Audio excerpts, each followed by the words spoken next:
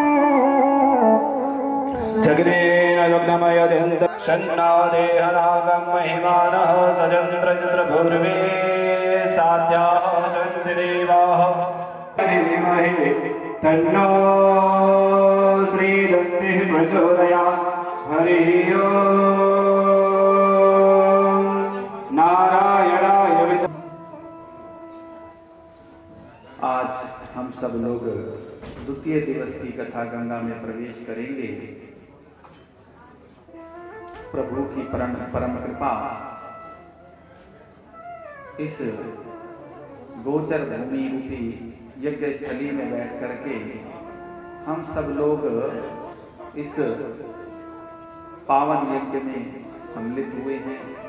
श्रीमद् भागवत सप्ताह ज्ञान यज्ञ का श्रवण करने का हम लोगों को परम अवसर प्राप्त हुआ है।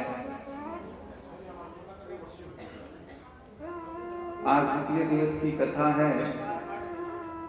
आप सभी लोग अपने मन को, चित्त को पूरी तरह से यहाँ पर ला करके भगवान की कथा में इसी स्थान पर अपने मन को, अपने चित्त को लगाएँ और इस पावन कथा गंगा में गोता लगाने का जो अवसर प्राप्त करें। आइए। कथा में प्रवेश करने से पूर्व थोड़ा सा हम लोग भगवान नाम आश्रय लेंगे। आप लोग थोड़ा जल्दी करें। इसको लगाएँ फटाफट। टाइम वेस्ट ना करें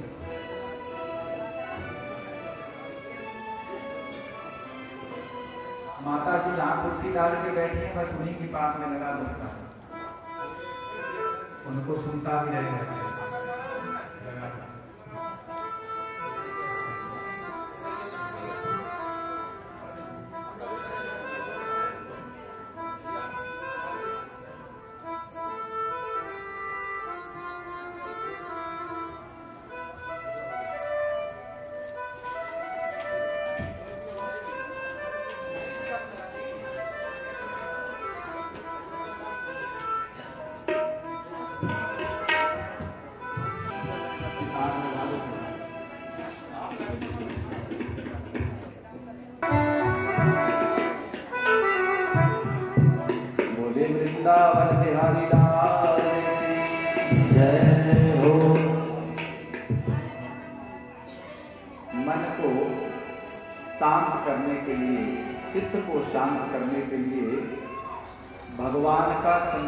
करवाया जाता है क्योंकि जब हम लोग संकीर्तन करते हैं, भगवान का नाम लेकर के बोल बोल के जब हम संकीर्तन करते हैं तो वाणी पवित्र होती है। और वाणी के पवित्र होने के साथ साथ जो संकीर्तन की ध्वनि हमारे भीतर प्रकट होती है, वो ध्वनि हमारे चित्त को शांत करती है। क्योंकि उससे पहले ही चित्त इतना चलायमान होता है, इतना इधर उधर भाग रहा होता है कि उसकी खुद की ध्वनि उससे ज़्यादा होती है लेकिन संकीर्तन की जो ध्वनि होती है, वो उस ध्वनि को शांत कर देती है इसलिए जब भी हम लोग सत्संग सुनने के लिए बैठते हैं, कहीं भी हम लोग सत्संग सुनते हैं तो संत लोग सबसे पहले संकीर्तन करवाते हैं थोड़ा सा भजन करवाते हैं, कीर्तन करवाते हैं, इसीलिए करवाते हैं कि मन जो है हमारा शांत हो जाए बोले, वृंदावन बिहारी की। आइए, थोड़ा प्रभु से प्रार्थना करते हैं, भगवान से प्रार्थना करते हैं कि हम प्रभु कृपा अपनी निरंतर बनाए रखें। बांके बिहारी मुझको देना सहारा। बांके बिहारी मुझको देना सहारा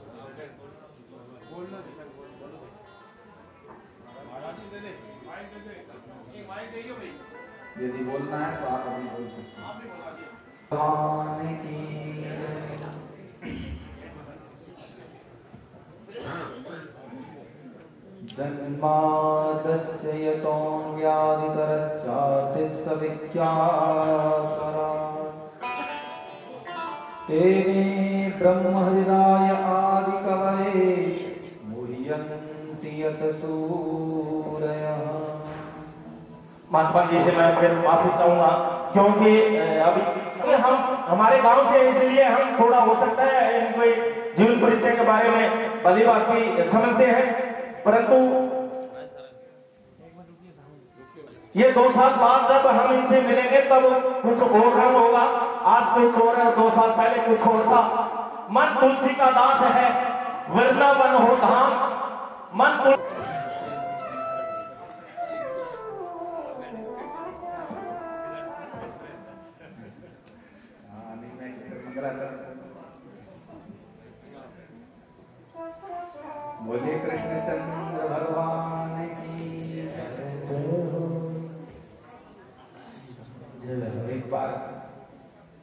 जयकारा बोल लो ज़ोर से।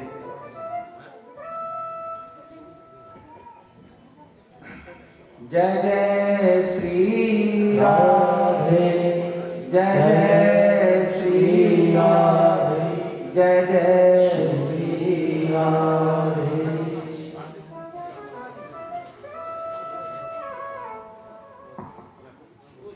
भगवान व्यास जी ने मंगलाचरण किया।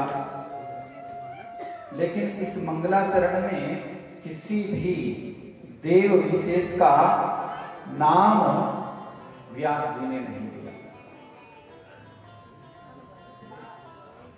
कहते हैं जन्माद्यस्य यतोन वयाधितरस्या स्वराट जो परमात्मा जन्म आदि के सड़विकारों से रहित छह तरह के विकार शरीर में माने जाते हैं।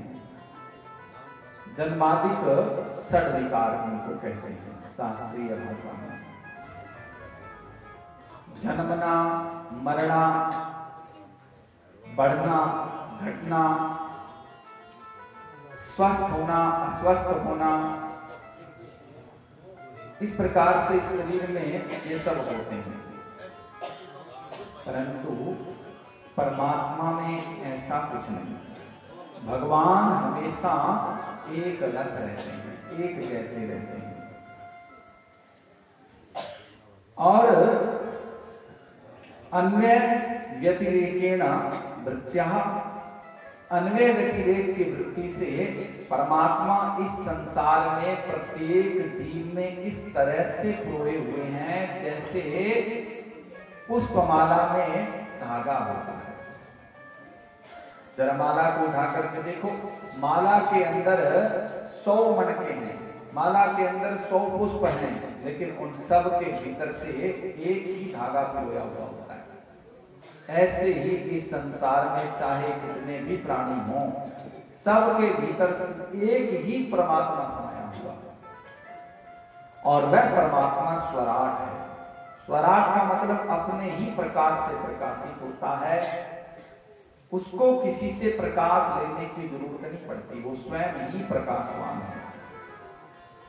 और उस परमात्मा को जानने के लिए, कहते हैं उसकी महिमा को जानने के लिए, उसे जानने के लिए बड़े बड़े कवि, माने विद्वान, ब्रह्मादिक कवि, ब्रह्मादि जैसे बड़े बड़े कवि मोहित हो जाते हैं, लेकिन उसे जान नहीं वेद भी जिसके लिए ये नहीं कह सकता कि वो परमात्मा ऐसा है। वेद भी न इति न इति कह करके चुप हो जाता है कि ऐसा भी नहीं है, ऐसा भी नहीं है। पर कैसा है, ये नहीं पता कि वो कैसा है। ऐसा जो परमात्मा है, कहते हैं उस परमात्मा को, उस परम सत्ता को धीमहि सत्यम परम वह जो परमात्मा है, बस वही परम सत्य है और ऐसे परम सत्य को व्यास भगवान कहते हैं धीमहि हम नमस्कार करते हैं, उसका हम ध्यान करते हैं। श्रीमद् भागवत के बारे में एक श्लोक में बताया कि श्रीमद् भागवत वास्तव में क्या है। निगमकल्पतरोर्गलितं फलम्। सुखमुखादमृतद्रव्य संयुतम् पिबत भागवतं रसमालयं मुहुरहो भुवि भावुकाः मुहुरहो भुवि भावुकाः कहते हैं जो श्रीमद भागवत पुराण आप सुन रहे हैं। देखो, हमारे यहाँ अठारह पुराण हैं। यह जो श्रीमद भागवत पुराण है, इस श्रीमद भागवत पुराण में द्वादश माने बारह स्कंद हैं और तीन सौ पैंसठ अध्याय हैं, अठारह हज़ार श्लोक हैं। यह श्रीमद् भागवत क्या है? बोले निगम कल्प कल्पतरोरगलितम फलम। ये श्रीमद भागवत निगम और आगम दो शब्द होते हैं, इन पर जरा ध्यान देना। निगम कहते हैं वेद को, और आगम कहते हैं पुराणों को। हम सब लोग सनातनी हिंदू हैं, हमारा सनातन धर्म है और सनातन धर्म के अनुयायियों को, जो सनातन धर्म को मानने वाले हैं, उनको अपने धर्म के विषय में कुछ जानकारी होना बहुत ज़रूरी है। वैसे तो सारी ही जानकारी होनी चाहिए, लेकिन सारी ना भी हो तो कुछ तो होनी ही चाहिए। निगम किसे कहते हैं? वेद को कहते हैं। आगम किसे कहते हैं? पुराण को कहते हैं। वेद कितने हैं? यहाँ पर कितने लोग हैं जो ये जानते हैं कि वेद कितने हैं और उनके क्या क्या नाम हैं? कितने लोग हैं? जरा हाथ उठा करके हमको बताओ तो हमको हौसला हो जाएगा कि हाँ हमारे सनातन धर्म में कितने लोग इस बात को जानते हैं। जरा हाथ उठा के बताओ। हे भगवान तो माथा पर हाथ मारना जी करे बताओ। अच्छा जितना भी बैठे हैं सारा का सारा सनातनी हिंदू। और फिर किन्हें ओठा गोली भी वेद है कितना? और के नाम है? वे एक दो हाथ उठे बस मुश्किल। वे भी डरता डरता सब उठे बेटा पूछ ही ना ले।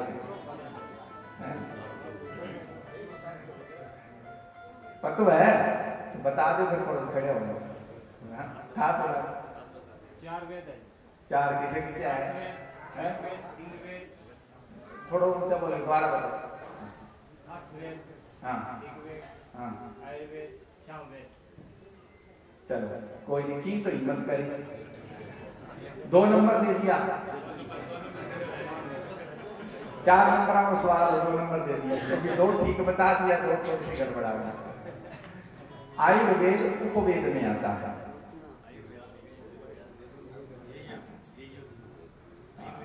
आयुर्वेद अलग है। हाँ, यजुर्वेद देखो चार वेद हैं पहले सब। अभी और भी पूछूँगा आप पूछने वाली बात आई आओ चिंता ना करो। अब क्लास लानी कर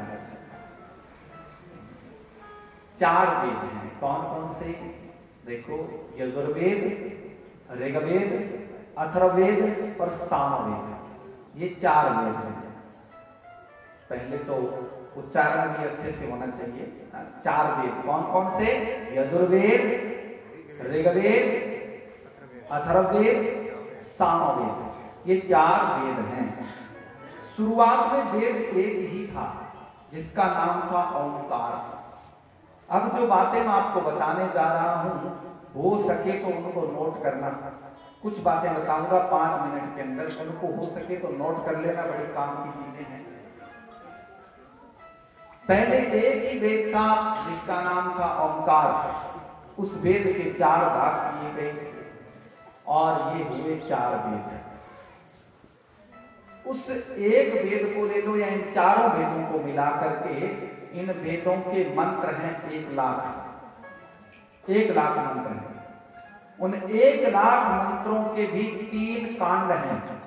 जैसे रामायण के सात कांड है ना बाल कांड अयोध्या कांड है? इस तरह से वेदों के भी तीन कांड हैं। कौन कौन से?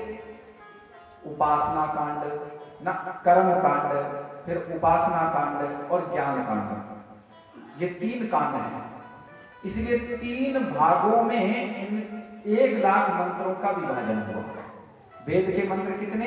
एक लाख। और इन एक लाख मंत्रों का भाग कितने? तीन भाग। तीन भाग कौन कौन से? कर्म कांड उपासना कांड और ज्ञान कांड कर्म कांड के मंत्र कितने हैं? बोले, अस्सी हज़ार मंत्र कर्म कांड के हैं। अस्सी हज़ार मंत्र कर्म कांड के उपासना कांड के कितने हैं? सोलह हज़ार मंत्र। सोलह हज़ार मंत्रों में ये बताया गया है कि भगवान की भक्ति कैसे हो, उपासना कैसे हो अस्सी हज़ार मंत्रों में कर्म के विषय में है। इसमें सभी चीज़ें आ जाती हैं। योग इत्यादि भी आता है। और आपके जो पंडित जी मंत्र बोलते हैं गणानाम का गणपति गुण इत्यादि, और भी, ये जितने भी कर्म के मंत्र हैं, अस्सी हज़ार हैं। सोलह हज़ार मंत्रों में उपासना के विषय में बताया कि भगवान की उपासना कैसे करनी चाहिए। चार हज़ार मंत्र हैं जो ज्ञान के मंत्र हैं। जिनमें परमात्मा के स्वरूप के विषय में, अपनी आत्मा के स्वरूप के विषय में, आत्मा अनुसंधान के विषय में चार हज़ार मंत्रों के द्वारा अब इन चार हज़ार मंत्रों में से उपनिषदें निकली। उपनिषदें, जिनको हम लोग उपनिषद कहते हैं। ये 1126 उपनिषदें बनाई गई। शुरुआत में 1126 उपनिषद। धीरे धीरे ये उपनिषदें विलुप्त होती चली गई, क्योंकि हम लोग पढ़ते नहीं हैं, हम लोग स्वाध्याय करते नहीं हैं तो इसलिए ये विलुप्त होती चली गई। 1126 से घटते घटते 250 उपनिषदों पर आई, और 250 का कुछ स्वाध्याय हुआ, लेकिन उसके बाद फिर ये घट के डेढ़ सौ पे आ गए। अभी डेढ़ सौ उपनिषदें उपलब्ध हैं लेकिन इनमें से भी जिन उपनिषदों का हम संतों में स्वाध्याय होता है, महात्माओं में, गुरु परंपराओं से हम लोगों को जो पढ़ाई जाती हैं, वो मात्र दस उपनिषद हैं, जिनका रेगुलर स्वाध्याय होता है। वो दस उपनिषद हैं। अब इन दस उपनिषदों के साथ दो ग्रंथों को और जोड़ा गया, जिसको ये संतों का विषय है वैसे, पर आप लोगों को जानकारी होनी चाहिए। इन दस उपनिषदों में दो ग्रंथ और जोड़ दिए गए कौन से? श्रीमद भगवद गीता और ब्रह्मसूत्र। ब्रह्मसूत्र वेदांत का अंतिम ग्रंथ मान लो। सारा सार निचोड़ वेदों का, वेदांत का ब्रह्मसूत्र में पाया जाता है। इनको हम लोग प्रस्थान त्रयी कहते हैं। इसमें आपकी जो ये उपनिषदें हैं उपनिषदों के नाम तो फिर किसी को पता ही नहीं होगा। जब चार वेदों के नाम पता नहीं है तो उपनिषदों के तो बहुत मुश्किल है। उपनिषदों के नाम है ईसावास उपनिषद, केनोपनिषद, कठोपनिषद, मांडुक उपनिषद, मुंडक उपनिषद, प्रश्नोपनिषद तैतेर्य ऐतेर्य श्वेत बृहदारण्यक छांदोग्य ये उपनिषद हैं। और इनके साथ ब्रह्मसूत्र को जोड़ा गया। और भगवत गीता को। ये हो गई प्रस्थान इनके ऊपर फिर हमारे यहाँ पर संतों में चार संप्रदाय बनी वो भी इन्हीं उपनिषदों के आधार पर। चार संप्रदाय बनी। इन चार संप्रदायों के अलग अलग आचार्य हैं, जिसमें कि हमारी जो दसनामी संप्रदाय है, हम लोग शुद्धाद्वैत है। वो लोग शुद्धा शुद्धाद्वैत को मानने वाले हैं। उसके आचार्य हैं श्री वल्लभाचार्य जी महाराज। रामानुज संप्रदाय है। रामानुज संप्रदाय जो है, इनके आचार्य स्वामी रामानुजाचार्य जी हैं। इनका है विशिष्ट अद्वैत। और इसके बाद एक निम्बारक संप्रदाय है, जिनके आचार्य हैं स्वामी निम्बारकाचार्य जी महाराज, और इनों का है द्वेताद्वैत संप्रदाय। ये चार संप्रदाय होती हैं। इन्हीं संप्रदायों से लगभग सभी संत निकलते हैं। जैसे हम लोग, ये जानकारी संतों को अक्सर होती है। इसमें भी फिर संतों की अपनी अपनी एक टकसाल होती है। वो कभी स्वामी जी से पूछना, बैठते अकेले पूछने वाली बात। नहीं ये मंच से बताने वाली बातें नहीं क्योंकि अगर ये बातें मंच से बताई गई तो फिर किसी भी महात्मा से तुम पूछने बैठो। सबको जानकारी होती है। ये गुरु गुरु परंपरा से ही ये जानकारी मिलती है। और जो लोग वैसे ही मनमुखी आ, आते हैं घूमने के लिए आ जाते हैं लाल कपड़े पहन लिए लाल चादर ओढ़ ली अपना भिक्षा मांगते हुए घूमते रहते हैं उनको इन चीज़ों की जानकारी नहीं होती है। ये गुरु परंपराओं से हम लोगों को बताया जाता है शास्त्रीय परंपराओं से हम लोगों को बताया जाता है। तो अगर ऐसे बताया जाएगा तो आप लोग फिर उनको घेरोगे वो बेचारे जैसे भी हों ठीक है सबके भीतर परमात्मा है किसी का अपमान नहीं करना चाहिए। और जो जानकारी हमारे पास हो, उसको लेकर के तो कभी किसी का अपमान न करना चाहिए। इसलिए जो लोग पढ़े लिखे होते हैं, विद्वान होते हैं, वो कभी किसी को नीचा नहीं दिखाते। इसलिए अगर जानते भी हो किसी चीज़ को तो अपने आप में रखो, स्वयं के लिए रखो, किसी को नीचा मत रखना इस प्रकार, ये तो हमारी एक सनातन संस्कृति की मर्यादा, एक परंपरा रही। सभी जितने भी मत होते हैं, सबके अपने अपने ग्रंथ होते हैं। धर्म ग्रंथ जिसको आप जैसे सिख सिख संप्रदाय। सिख संप्रदाय का क्या है धर्म ग्रंथ? गुरु ग्रंथ साहिब ये तो आप लोगों को पता है। इस्लामिक संप्रदाय का क्या है? कुरान। ये भी आप लोगों को पता ही है। ईसाइयत का क्या है? बाइबल। इसके बाद अपने पे आ हिंदुओं का क्या है? आप लोगों का क्या है? अच्छा खुद के बोलो। सिर्फ़ दो लोगों की आवाज़ आई है। बस इधर से दो लोगों कि। हमारा धर्म ग्रंथ क्या है? श्रीमद भगवद गीता अपने धर्म ग्रंथ का नाम एक तो पूरे आदर से लेना चाहिए और हमें पता होना चाहिए अपने धर्म ग्रंथ के बारे में। देखो, पता ही नहीं। आप लोग इस बात को समझना। एक बार मैं एक ट्रेन में बैठा। नांदेड़ एक्सप्रेस जिसको आप लोग कहते हैं। तो उसमें ज़्यादातर जो है सिख लोग बैठे हुए थे। सुबह सुबह का टाइम था, मैंने एक चीज़ देखी वहाँ पे। क्या देखी? छोटे छोटे सिखों के बच्चे थे जिन्होंने अपना इनके जो होते हैं ना कंगा कृपान? ये चीज़ जो होती है, इनकी पाँच चीज़ें होती हैं, आप लोगों को सब पता ही है। तो वो सब लगाए हुए वो बच्चे बैठे। और मैंने एक आश्चर्यचकित बात ये देखी कि वो दोनों बैठे बैठे जपूजी साहिब का पाठ कर रहे थे। जपूजी साहिब का वो बैठे बैठे दोनों बच्चे कंठस्थ पाठ कर रहे और मैं भी उनको देख रहा मैं बैठा था। और फिर जब वो उनका पाठ पूरा हो गया तो मैंने उन बच्चों से बात कर ली मैंने उनसे पूछा कि, ये तुम पाठ रोज करते हो? तो बोले हाँ जी, ऐसी रोज पाठ करते हैं। अच्छा रोज पाठ करते हो हाँ जी, ऐसी रोज करते हैं। अच्छा याद है? बोले हाँ जवानी याद है। मुझे सुन करके बड़ी खुशी हुई इस बात की कि चलो, अपने धर्म को वो लोग जैसा भी अपने धर्म का पालन कर पर मैं कहता हूँ यहाँ पर हम लोग सब बैठे हुए हैं किसको भगवत गीता का एक भी अध्याय याद हो पूरी भगवत गीता को छोड़ो एक भी अध्याय याद है किसी को याद नहीं होगा इतना मुझे चलो याद को छोड़ो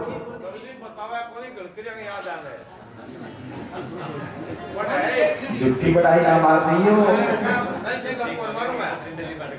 अच्छा तो इनको मतलब थे मेर की करना आग्रह समझ गए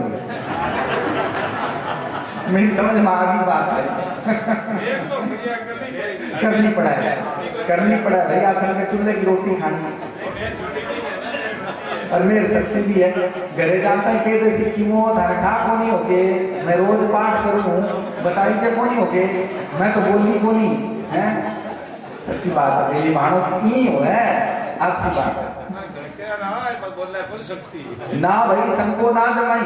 अपा एक ही घर का बैठे हर सारा न्यारो को यही को नहीं है?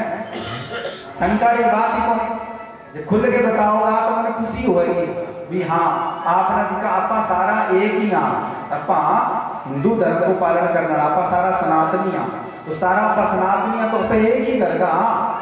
ये बात को ध्यान रखो। जब देख घर का या तो संकाली की बात है। संकाली को बात है ही को नहीं? और बताओ, अगर मन की खुशी मिलेगी, हौसलों देखो, संत कल खुश हुए संत जब खुश हुए है, जब समाज धर्म के प्रति जागरूक हुए हैं।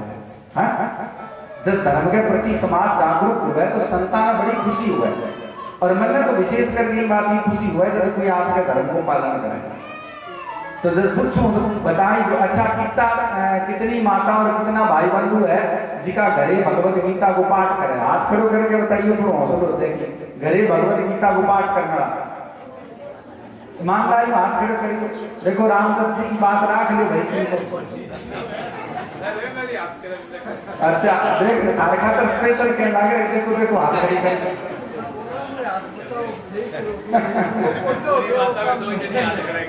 अब बताओ। अच्छा चलो, कोई नहीं। कोई बात नहीं। जे पाठ ना भी करियो है, कोई नहीं। अच्छा इतो भी बता दो, किंग किंग घरे भगवत गीता रखेड़ी है। इतो तो हाथ खड़ो करी क्यों? किंग किंग घरे भगवत गीता चलो, अब अब किन की खुशी हुई भी, चलो घर में धर्म ग्रंथ है तो सही है ये बात की खुशी। प्रत्येक घर के अंदर अपना धर्म ग्रंथ होना चाहिए।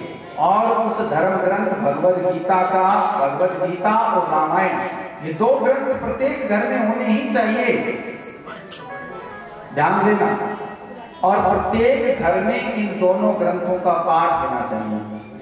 नियम से। नियम से।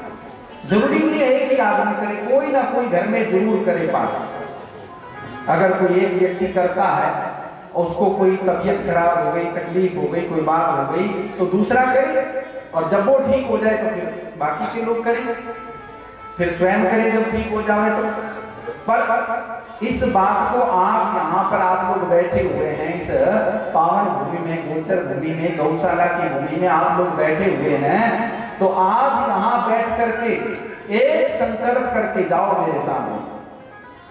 संकल्प करके जाओ आज मेरे सामने एक, कि जितने भी लोग यहाँ पर पढ़े लिखे हैं अच्छा जिनको संस्कृत में भगवत गीता पढ़ने आती हो तो ठीक, और नहीं भी आते हो तो हिंदी हिंदी पढ़ो। संस्कृत के श्लोक नहीं पढ़ पाओ तो उसकी हिंदी हिंदी पढ़ो। और रामायण की चौपाई दोहा पढ़ो, ना पढ़ पाओ बाई चांस क्योंकि वैसे तो रामायण बहुत सरल है। जो पढ़ता है उस पर रामायण की ऐसी कृपा हो जाती है कि अपने आप ही पढ़ने लगता है, जो शुरुआत कर लेता है। तो आज यहाँ पर एक संकल्प तो ज़रूर करके जाओ कि आज के बाद हम अपने घर में भगवत गीता का, रामायण का पाठ ज़रूर करेंगे। और ये भी पक्की बात जानना, जिस घर में भगवत गीता, रामायण का पाठ रोज नियम से होगा, उस घर की सुख शांति कभी भंग नहीं हो सकती। उस घर में सुख शांति कितने लोग हैं जो इस बात के लिए तैयार हैं कि रोज घर में पाठ करेंगे? यहाँ कितने लोग संकल्प करेंगे? हाथ खड़ा करके बताओ। जी- जिका पढ़ेड़ा है वे तो हाथ खड़ा करो ही करो कि यहाँ में पढ़ी जाना हिंदी तो पढ़ी लोगा कि हिंदी भी कौन पढ़ी जाए अब मन लगा, घर खातर में पंजाबी में रामायण बनवानी पड़ेगी। हाँ? हिंदी में जिका पढ़ सके भी। अच्छा ना पढ़ सके तो भी सुनो जी को घर में कोई एक भी टाबर पढ़े हुआ है या कोई एक भी पढ़े हुए नहीं, वीक को पढ़वाओ, बाकी का बैठ के सुनो। पर घर में रामायण और भगवत गीता प्रत्येक घर में होनी चाहिए। आज हाथ खड़े करके संकल्प करो कि मैं सारा आपका घरे भगवत गीता और रामायण रखा हाथ खड़ा करो सारा के सारा। यहाँ कौन बात है सारा हाथ खड़ा करके क्यों? कि मैं आपके घरे रामायण और भगवत गीता रखा मैं रखा चलो पढ़ी से कम पढ़ ना पढ़ी से ना पढ़ो पर रखो ज़रूर घर में कम क्योंकि घर में पढ़ी होगी तो कोई तो पढ़ेगा बोले सत्य सनातन धर्म की ये हमारे धर्म ग्रंथ आगम और निगम, अब इन चीज़ों पर आओ। अच्छा रामायण, गीता की चलो, बात समझ में आई। अभी क्या बताए हो दो चीज़ें हैं, निगम और आगम। निगम कहते हैं वेद, चारों वेद ये निगम है। और आगम आगम कहते हैं पुराण। अठारह पुराण हैं हमारे। इनमें से सभी पुराणों की करीब करीब सभी पुराणों की हिंदी मिलती है आजकल। गीता प्रेस वालों के यहाँ से, गीता प्रेस की छपी हुई हिंदी में सभी पुराण आते हैं। संस्कृत में नहीं, सब हिंदी में आते हैं। अपने घर में कम से कम एक एक पुराण रखो और पुराण को क्रम से पढ़ो। पहले भागवत पुराण को रखो, क्रम से भागवत पुराण को हिंदी हिंदी में पढ़ लो पूरा। फिर शिव पुराण रखो, शिव पुराण को हिंदी हिंदी में पढ़ लो पूरा। उसके बाद विष्णु पुराण ले आओ। ये बड़े सस्ते में देते हैं गीता प्रेस वाले, बड़ी सेवा कर रहे हैं समाज की। ये घर में होना चाहिए। सबके घर में ये होने चाहिए ना? गीता प्रेस के छपे हुए पुराण है। इनको ला करके घर में रखो, इनका पाठ करो। एक एक पुराण को पढ़ो। फिर देखो धर्म के प्रति आज अगर हम धर्म के प्रति जागरूक क्यों नहीं है? इसका कारण ये है कि हमने अपने ग्रंथों को छोड़ा। हमने अपने धर्म ग्रंथों को छोड़ दिया। याद रखना, जो समाज जो समाज अपने धर्म ग्रंथ को छोड़ देता है धीरे धीरे वो धर्म भ्रष्ट हो जाता है, उसका धर्म चला जाता है।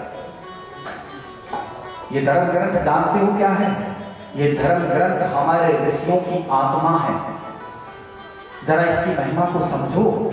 हमारे ऋषियों ने भूखे प्यासे रह करके पत्ते और घास खा खा करके इन ग्रंथों को लिखा है।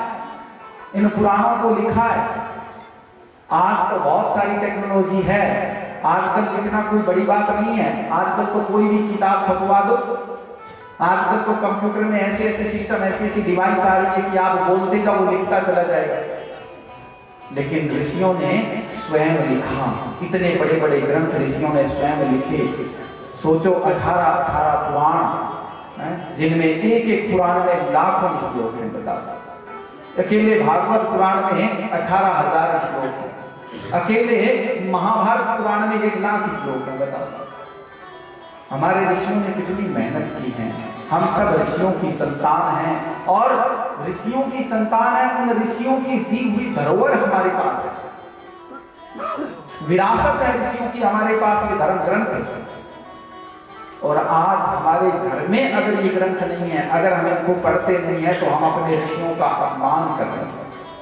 उनकी दी हुई संपदा को हम संभाल नहीं रहे हैं, उनकी दी हुई संपदा को आज हम लोग पढ़ नहीं रहे हैं। इसका प्रचार प्रसार नहीं कर रहे हैं। वैसे यहाँ पर मैं लेकर के आ नहीं पाया। हमारी गाड़ी में जगह नहीं थी। बाकी जहाँ मैं जाता हूँ, भगवत गीता को मैं फ्री में बांट करके आता हूँ। जिनके घर में नहीं होती है उनको लेके आता हूँ। गीता प्रेस गोरखपुर से छपी हुई भगवत गीता मैं स्वयं अपने साथ लेकर के जाता हूँ, जिस भक्त के घर जाता हूँ, जिन शिष्यों के यहाँ जाता हूँ, सबके यहाँ पर मैं भगवत गीता को निशुल्क देकर के आता हूँ ताकि लोग पाठ करें उसका।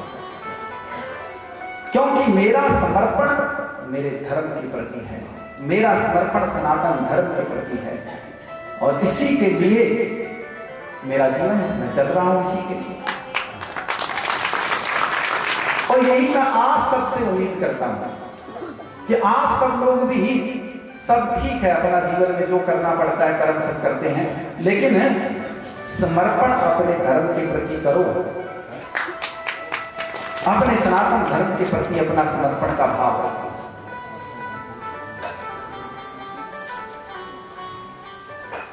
इसलिए कम से कम अपने घर में कोई ना कोई पुराण आप लोग पढ़ते रहो। देखो, महात्माओं से मंगवाइए तो महाराज जी हैं। जब भी इधर उधर तो फिरोजाबाद को आए तो जाते ही रहते हैं।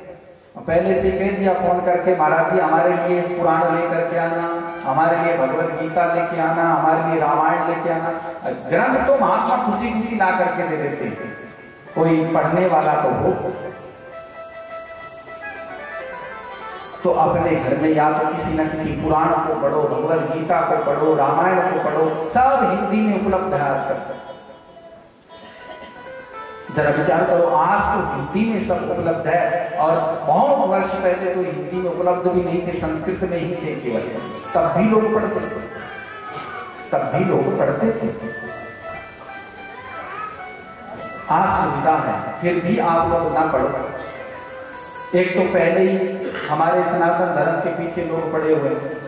एक तो पहले विधर्मी लोग हमारे सनातन धर्म के पीछे पड़े हुए हैं कि अनेक बातों के झूठे प्रचार कर देते हैं, जिससे आप लोगों की बुद्धि भ्रमित हो जाती है।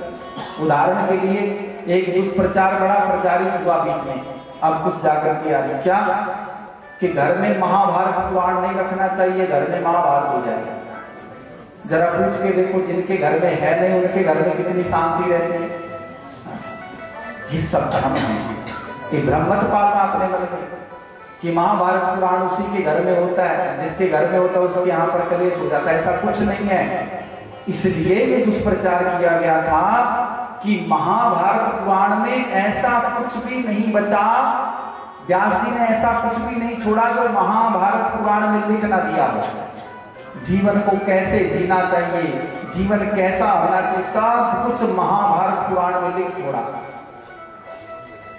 और जो लेफ्टी है, जो वामपंथी है, ये लोग क्या करते हैं? अब भाई कोई हो तो बुरा मत मानना। ये लोग ये समझ लेते हैं कि अगर इन्होंने पढ़ लिया तो पढ़ने के बाद में फिर ये लोग धर्म के प्रति कट्टर हो जाएँगे। अपने धर्म के प्रति मज़बूत हो जाएँगे, जीने की कला जान जाएँगे। इसलिए एक भ्रम फैला तो क्या? कि महाभारत जिसके घर में रहेगा, उसके घर में क्लेश हो जाएगा। महाभारत हो जाएगा। इस भ्रम को दिमाग से निकाल दो ऐसा कोई मत पालो यन्न भारते तन्न भारते कहते हैं जो महाभारत में नहीं है वो कहीं भी नहीं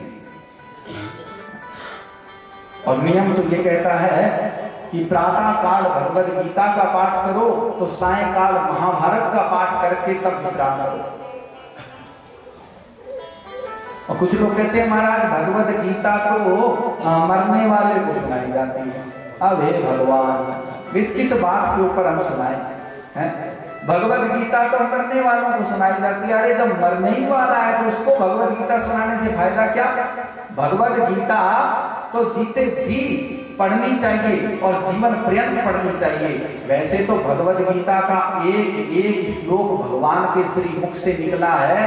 मरते समय भी अगर कान में पड़ जाता है तो सरगति हो जाती है। मरते समय तो सुनानी ही चाहिए। वो तो चलो ठीक है। वो कोई गलत नहीं कह रहा हूँ कि मरते समय ना सुनाओ, ऐसा नहीं कह रहा हूँ, फिर उल्टी बात मत पकड़ लेना।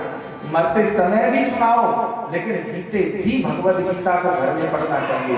ये भ्रम बिल्कुल मत पाल लेना दिमाग में कि भगवद गीता घर में लाओगे तो कोई मर ना जाए हाँ ऐसी भी सोच हो सकती है भाई, कोई ठिकाना ही नहीं है।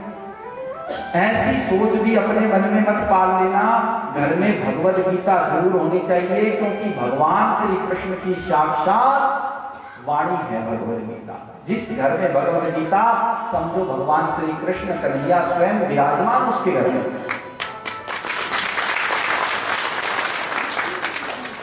इन भ्रांतियों से बाहर आओ। और भी बहुत सारी भ्रांतियाँ हमारे हिंदू समाज में फैला दी गई हैं। समय धीरे धीरे बताते जाएँगे आप लोगों को।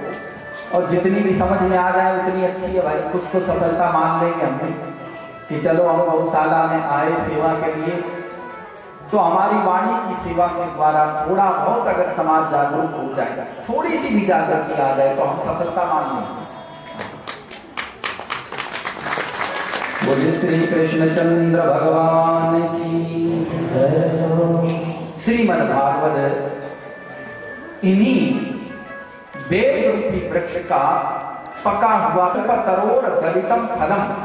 ये जो वेद रूपी वृक्ष है, जिस वेद के बारे में अभी मैंने बताया ना, कि सबसे पहले ओंकार, एक वेद था, उसकी चार शाखाएँ बन गई हैं, चार भाग बन गए हैं। ऋग्वेद, यजुर्वेद, ऋग्वेद, सामवेद अथर्वेद इसी वेद रूपी वृक्ष के ऊपर एक फल लगा। उस फल को कहते हैं निगम कल्प तरोड़ गलितम फलम। वही फल, पका हुआ फल, श्रीमद भागवत की कथा है, जो आप लोग सुन रहे हो। माने वेदों का निचोड़, श्रीमद भागवत। और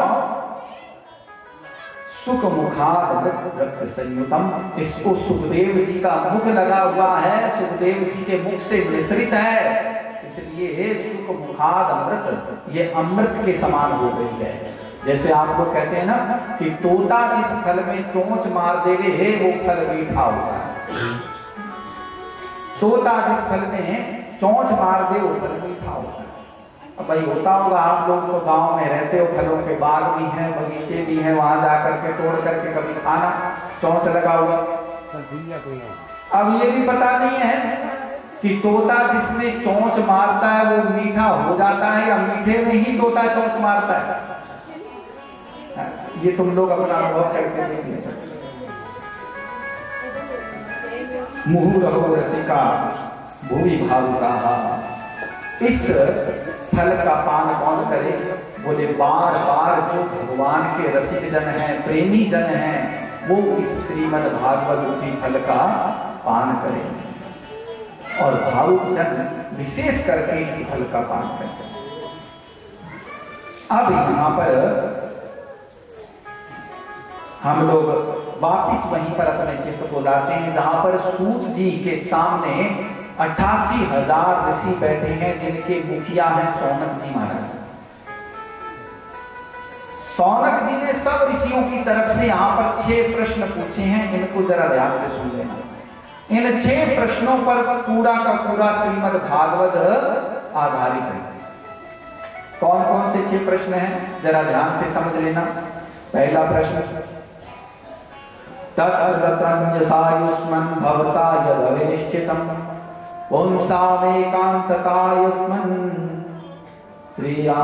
संसीतुमर्हसि बोले। छह प्रश्न। पहला प्रश्न क्या है? बोले, महाराज, आप हमको ये बताओ कि प्राणी मात्र का कल्याण कैसे हो सकता है? प्राणी मात्र का कल्याण कैसे हो सकता है? कल्याण का मुख्य एक साधन हमको कोई बताना? बोले, हमारे शास्त्रों में अनेक प्रकार के साधन दिए हुए हैं। उनको जानो।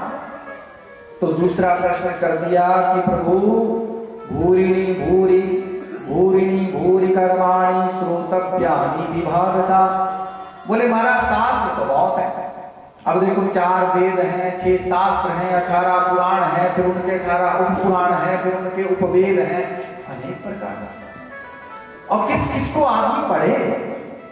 आखिर जीवन कितना है? जरा विचार। अनेक पुराण है। जीवन बिल्कुल छोटा सा है। पहले सौ वर्ष तक जाते थे बड़े बड़े अब आजकल तो सौ वर्ष की भी उम्मीद नहीं रही। आजकल तो साठ सत्तर के बीच में विदाई हो जाती है क्योंकि खान पान खान पान ही ऐसा है।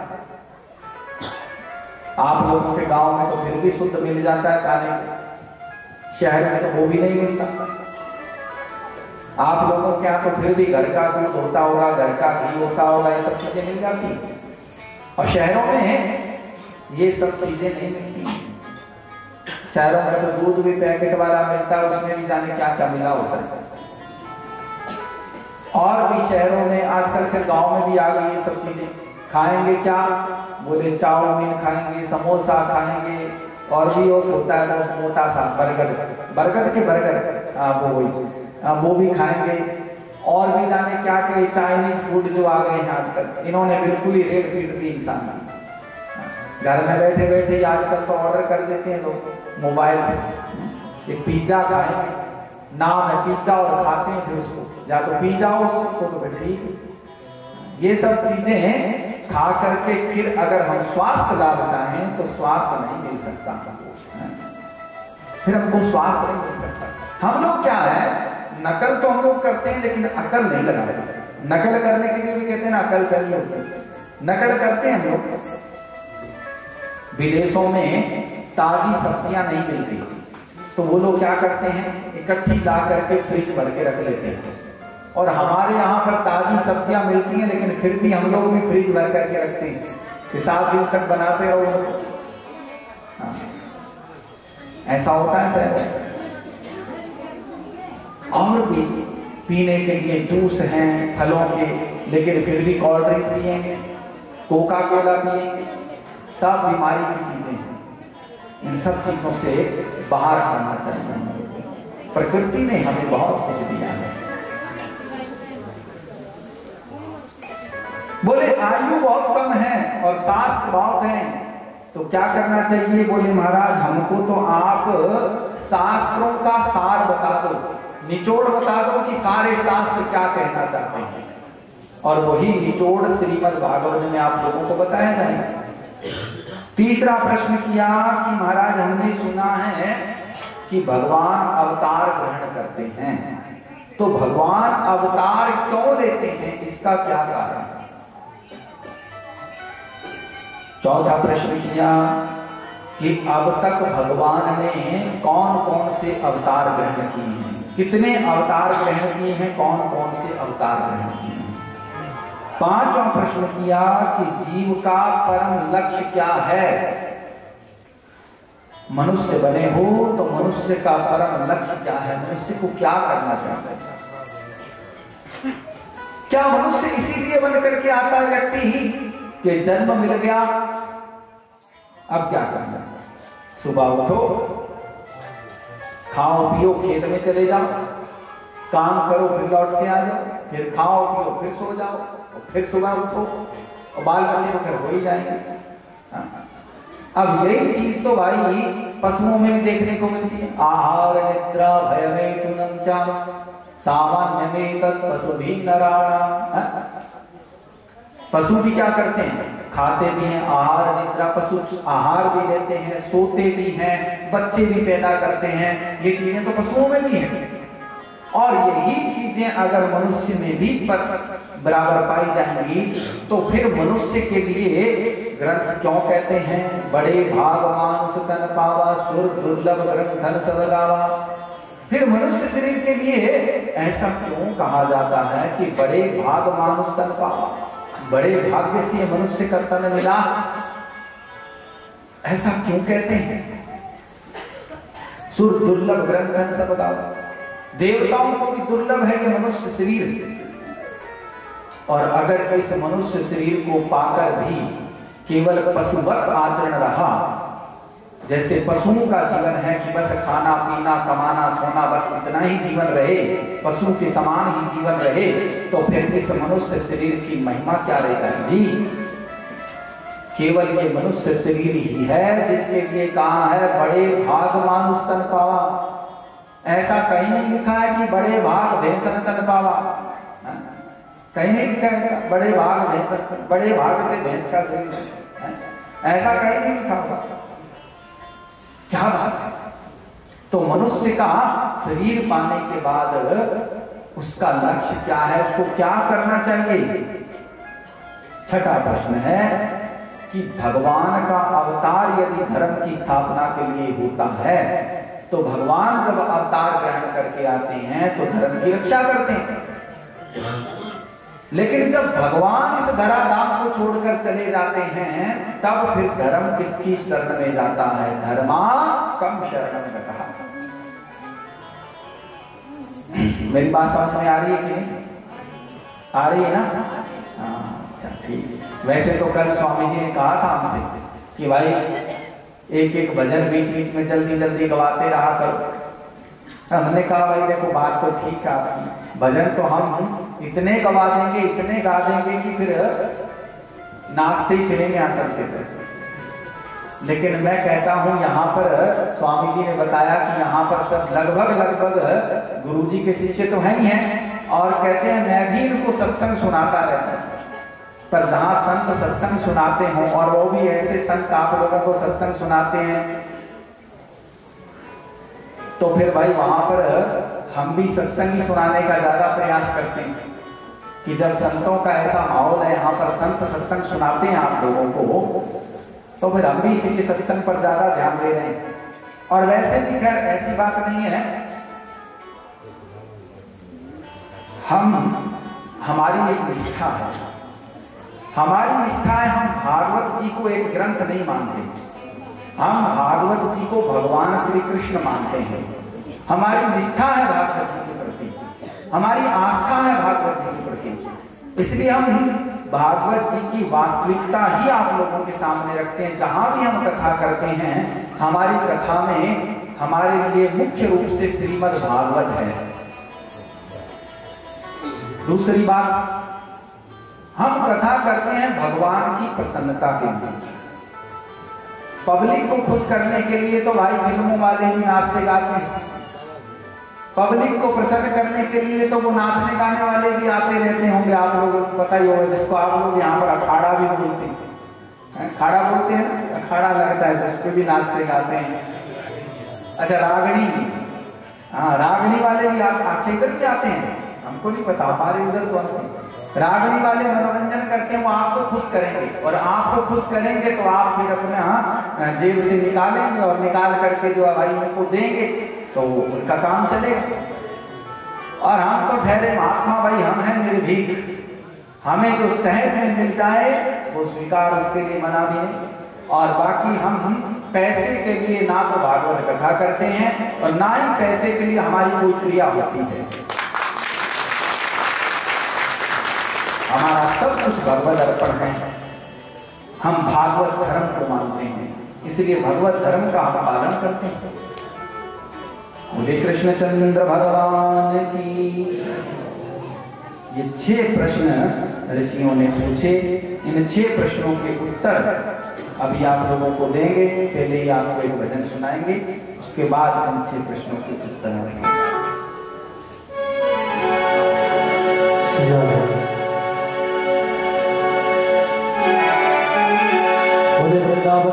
लाल की। बोले राधा रानी की जय श्री राधे।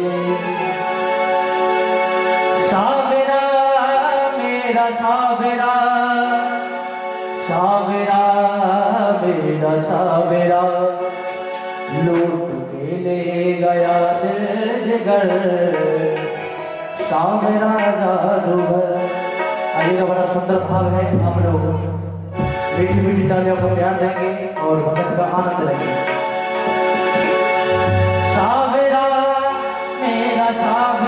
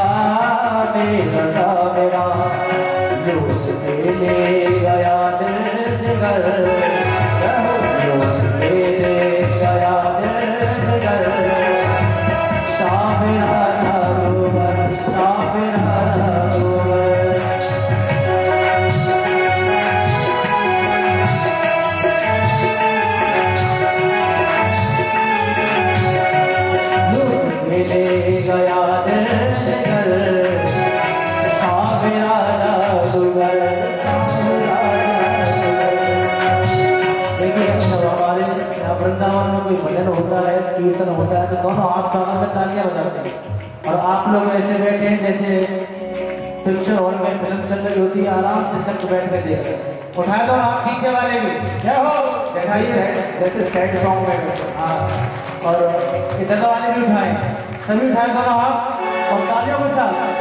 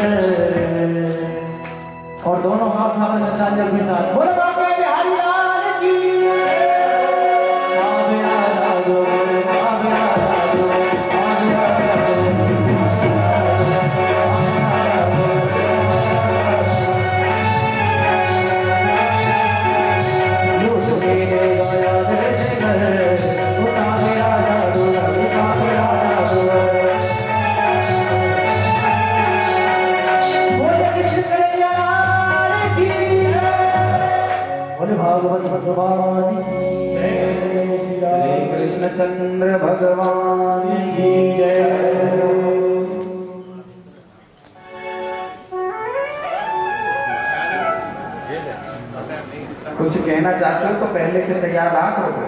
जी इक्कीस हज़ार रुपए का कथा कैसे दान किया है दो हज़ार तालियों का निषेधन के लिए बोलिए श्री गौ माता की जय। नारायणं नमस्कृत्य। नरं चैव नरोत्तमं देवीं सरस्वतीं व्यासं, ततो जयमुदीरयेत। सौनकादि ऋषियों के छह प्रश्न सुनकर के सूत जी महाराज ने अपने गुरुदेव, सुखदेव जी का मंगलाचरण करते हुए ऋषियों से कहा कि ऋषियों मुनेहा साधु पृष्ठो हम भवद्भिर लोक मंगलम यज्ञ कहा कृष्ण संप्रश्नो येना आत्मा सुप्रशीदति अरे ऋषियों आप लोगों ने बहुत सुंदर प्रश्न पूछा है। इन प्रश्नों से प्राणी मात्र का कल्याण होता है। ध्यान है ना? छह प्रश्न ऋषियों ने पूछे हैं। आप लोगों ने जो प्रश्न पूछे हैं, ये लोग का कल्याण करने वाले हैं, समाज का कल्याण करने वाले हैं। सवै पुरुषा परो धर्मो यतो भक्ति रदोक्षजे प्राणी मात्र का, मनुष्य मात्र का एक ही धर्म है। देखो, अभी अभी प्रश्नों में एक प्रश्न था ना कि मनुष्य का क्या धर्म होना चाहिए? मनुष्य मात्र का केवल एक ही धर्म है। सवई पुंसा परो धर्मो। क्या धर्म है? यतो भक्ति अनुच्छदे केवल और केवल परमात्मा की भक्ति करे। कर से कर्म करो विधि नाना, ध्यान रहे कृपा निधाना अनेक कर्म करते रहो, संसार में कर्म तो करना ही पड़ेगा। कर्म करे बगैर आप एक क्षण भी नहीं रह सकते। लेकिन कर्म करते हुए हृदय से भगवान की भक्ति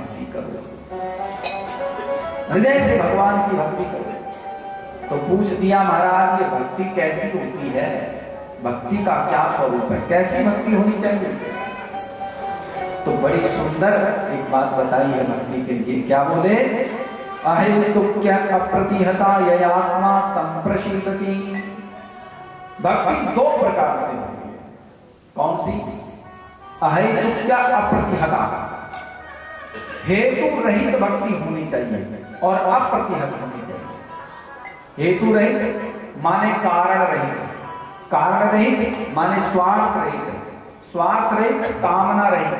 कामना रहित, किसी भी चीज़ की मांग नहीं होनी चाहिए भगवान से। अगर भगवान की भक्ति करते हो, भगवान से प्रेम करते हो तो भगवान से कभी कुछ मांगना मत। मांग भक्ति में सबसे बड़ी बाधक होती है। मांग भक्ति को व्यविचारणी बना देती है। अगर वास्तव में भगवान से सच्चा प्रेम करते हो, सच्ची भक्ति करते हो तो भगवान से कभी मांगना सच्चे भगवान के प्रेमी हो, भक्त हो तो भगवान से कभी शिकायत नहीं होनी चाहिए कि, हे प्रभु, तुमने मुझे ये नहीं दिया कि वो नहीं दिया। क्यों? क्योंकि सुख और दुख दोनों ही प्रारब्धाधीन है। सुख और दुख दोनों ही कर्माधीन है, प्रारब्धाधीन है। हम जैसे कर्म करते हैं, वैसा ही हमारे जीवन में फल आ जाता है।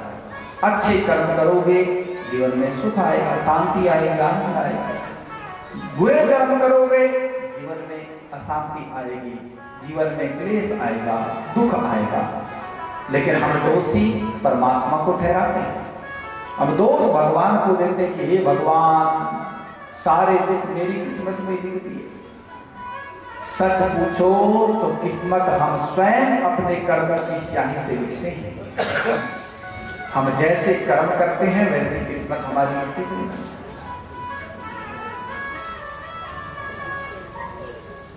सच बात तो ये भी है,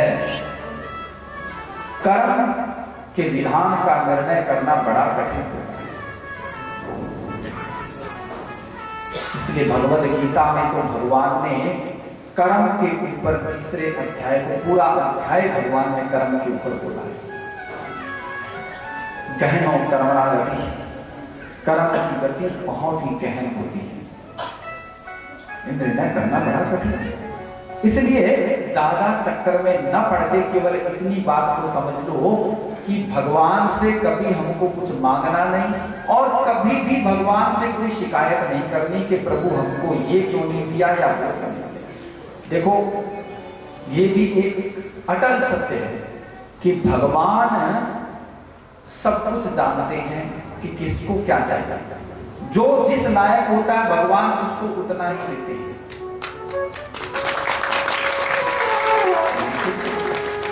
जो जितने के योग्य होता है, भगवान उसको उतना ही देते हैं।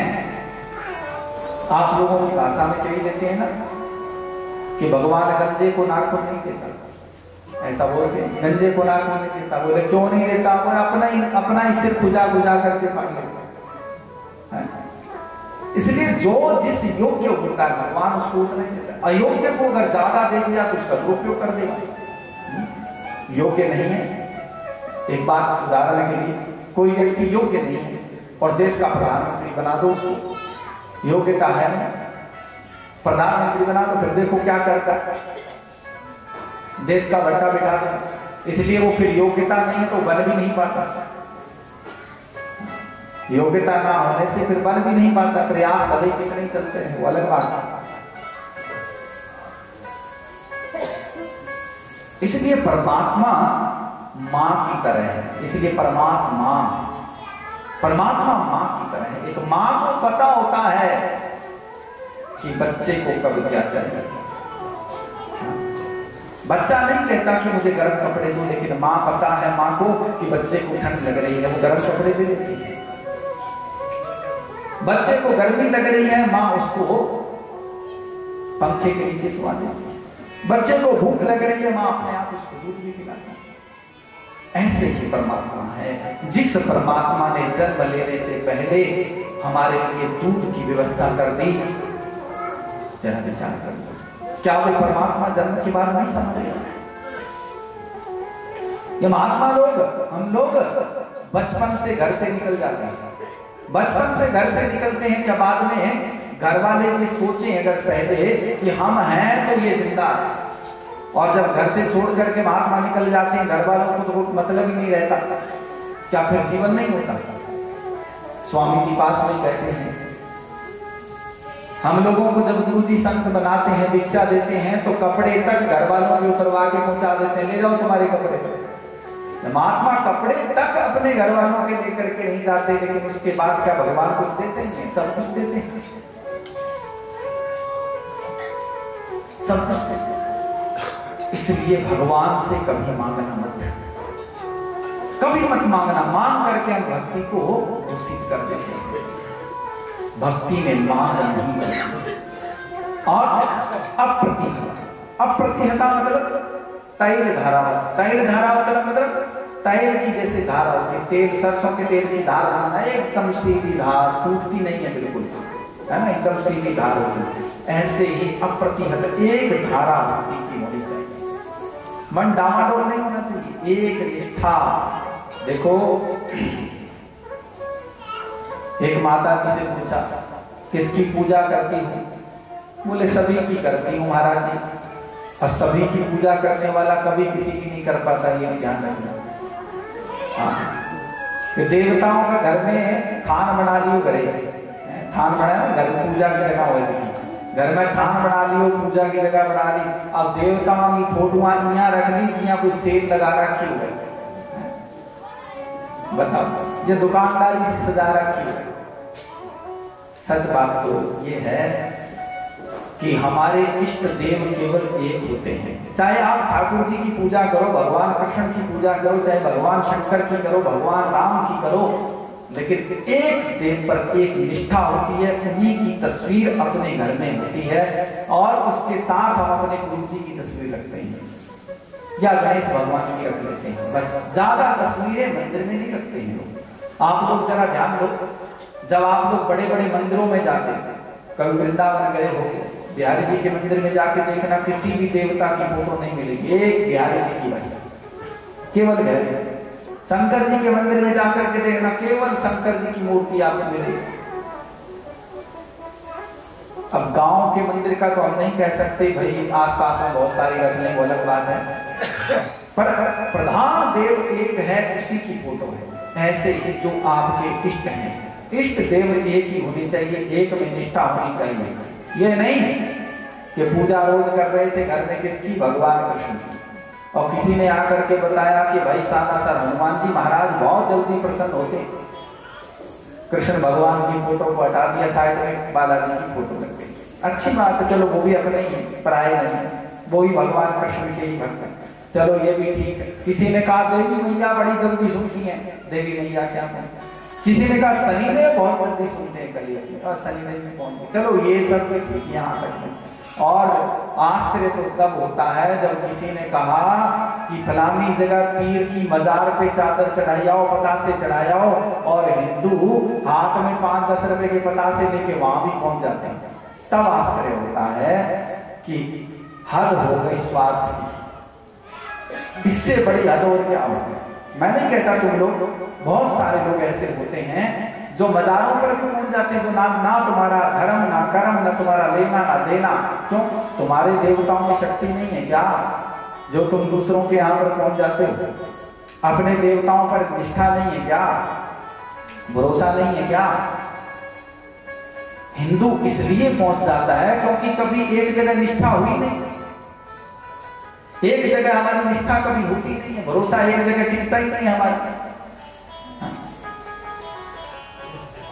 एक जगह निष्ठा होनी चाहिए फिर चाहे कुछ भी हो जाए हाँ, चाहे भगवान कृष्ण को पूजो राम को पूजो दुर्गा को पूजो किसी की भी प्रति एक निष्ठा एक देव के प्रति अटूट निष्ठा हो भगवान शिव को पूजो किसी को भी पूजो एक निष्ठा। और अपने धर्म से बाहर तो बिल्कुल भी नहीं जाना कभी भूल करके। अगर वास्तव में हिंदू। फिर बाद में लोग कहते हैं, महाराज, हमारे घर में सुख शांति नहीं है, थोड़ा देख करके बता दो तो क्या बात है जब हम अपने देवताओं से पीट करके हम दूसरी जगह जाते हैं, बाजारों पे जाते हैं, चादरें चढ़ाने के लिए, बाजारों पे जाते हैं पतासे चढ़ाने के लिए तो हमारे देवता तो अपने आप ही रुष्ट हो जाते हैं? जरा विचार करो, तुम्हारा बेटा तुम्हें बाप ना कह करके पड़ोसी को बाप कहे तो कैसा लगेगा? तुम्हें अच्छा लगेगा कि बुरा लगेगा?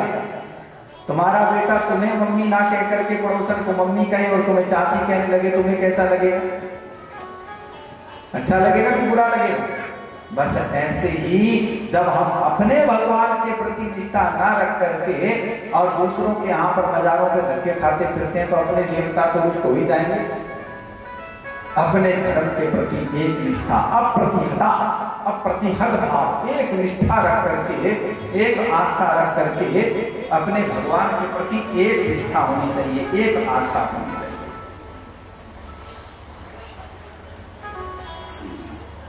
धर्म सुनिष्ठिता पुंसा विश्वसेन कटासिया नोत्पत्ति श्रम एव ही केवलम। हृदय में एक रति का भाव होना चाहिए। ऋषियों ने पूछा था कि अवतार कितने हुए? तो अब तक 24 अवतार हो चुके हैं भगवान के। कौन कौन से? सबसे पहले सनकादिक सनकादियों के रूप में भगवान का अवतार हुआ। नारद जी के रूप में भगवान का अवतार हुआ। नर नारायण के रूप में हुआ। कच्छप के रूप में हुआ। मत्स्य के रूप में हुआ।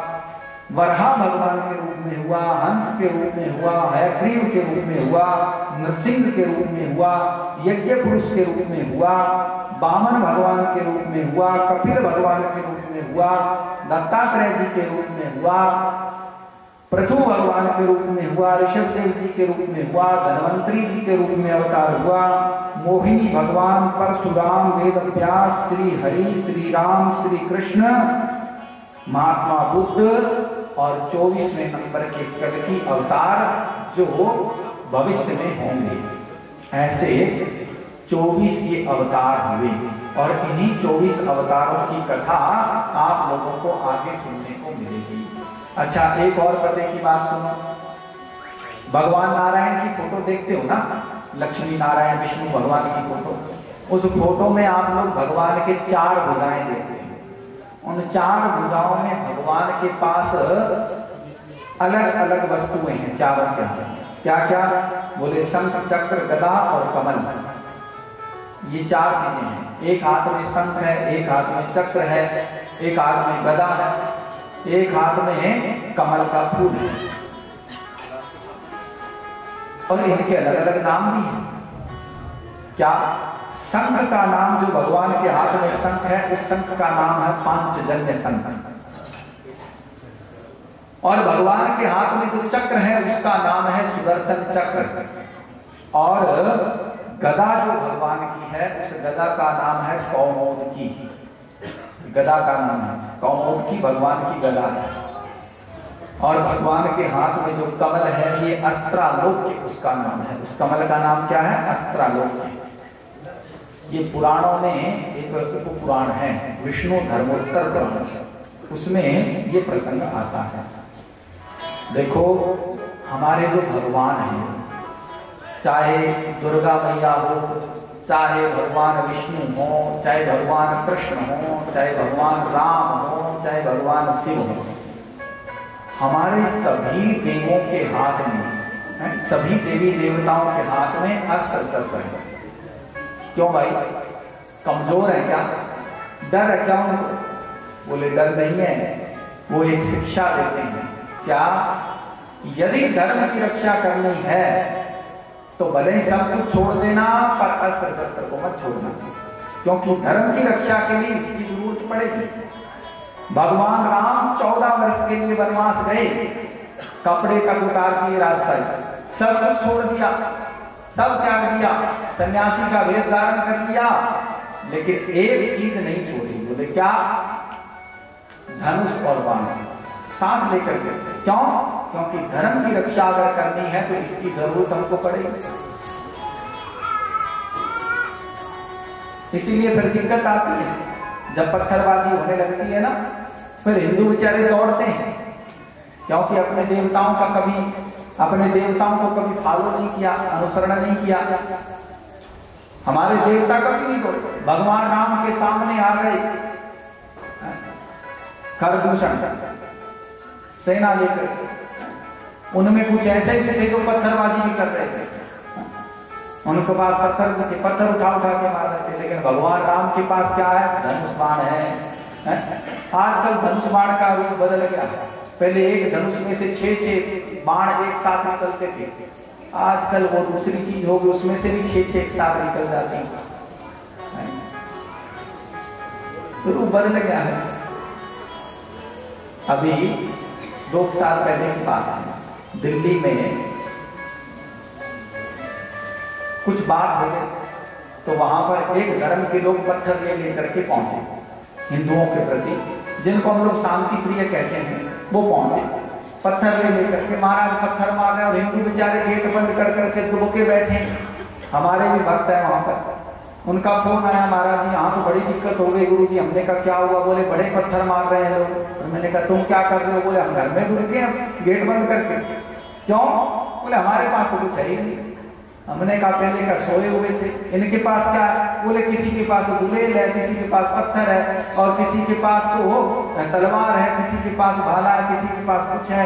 कोई कोई तो बंदूक पिस्तौल के लिए घूम रहे हैं। हमने कहा तो तुम सो रहे थे अब सोते रहो। अब गेट बंद करके भी सोते रहो।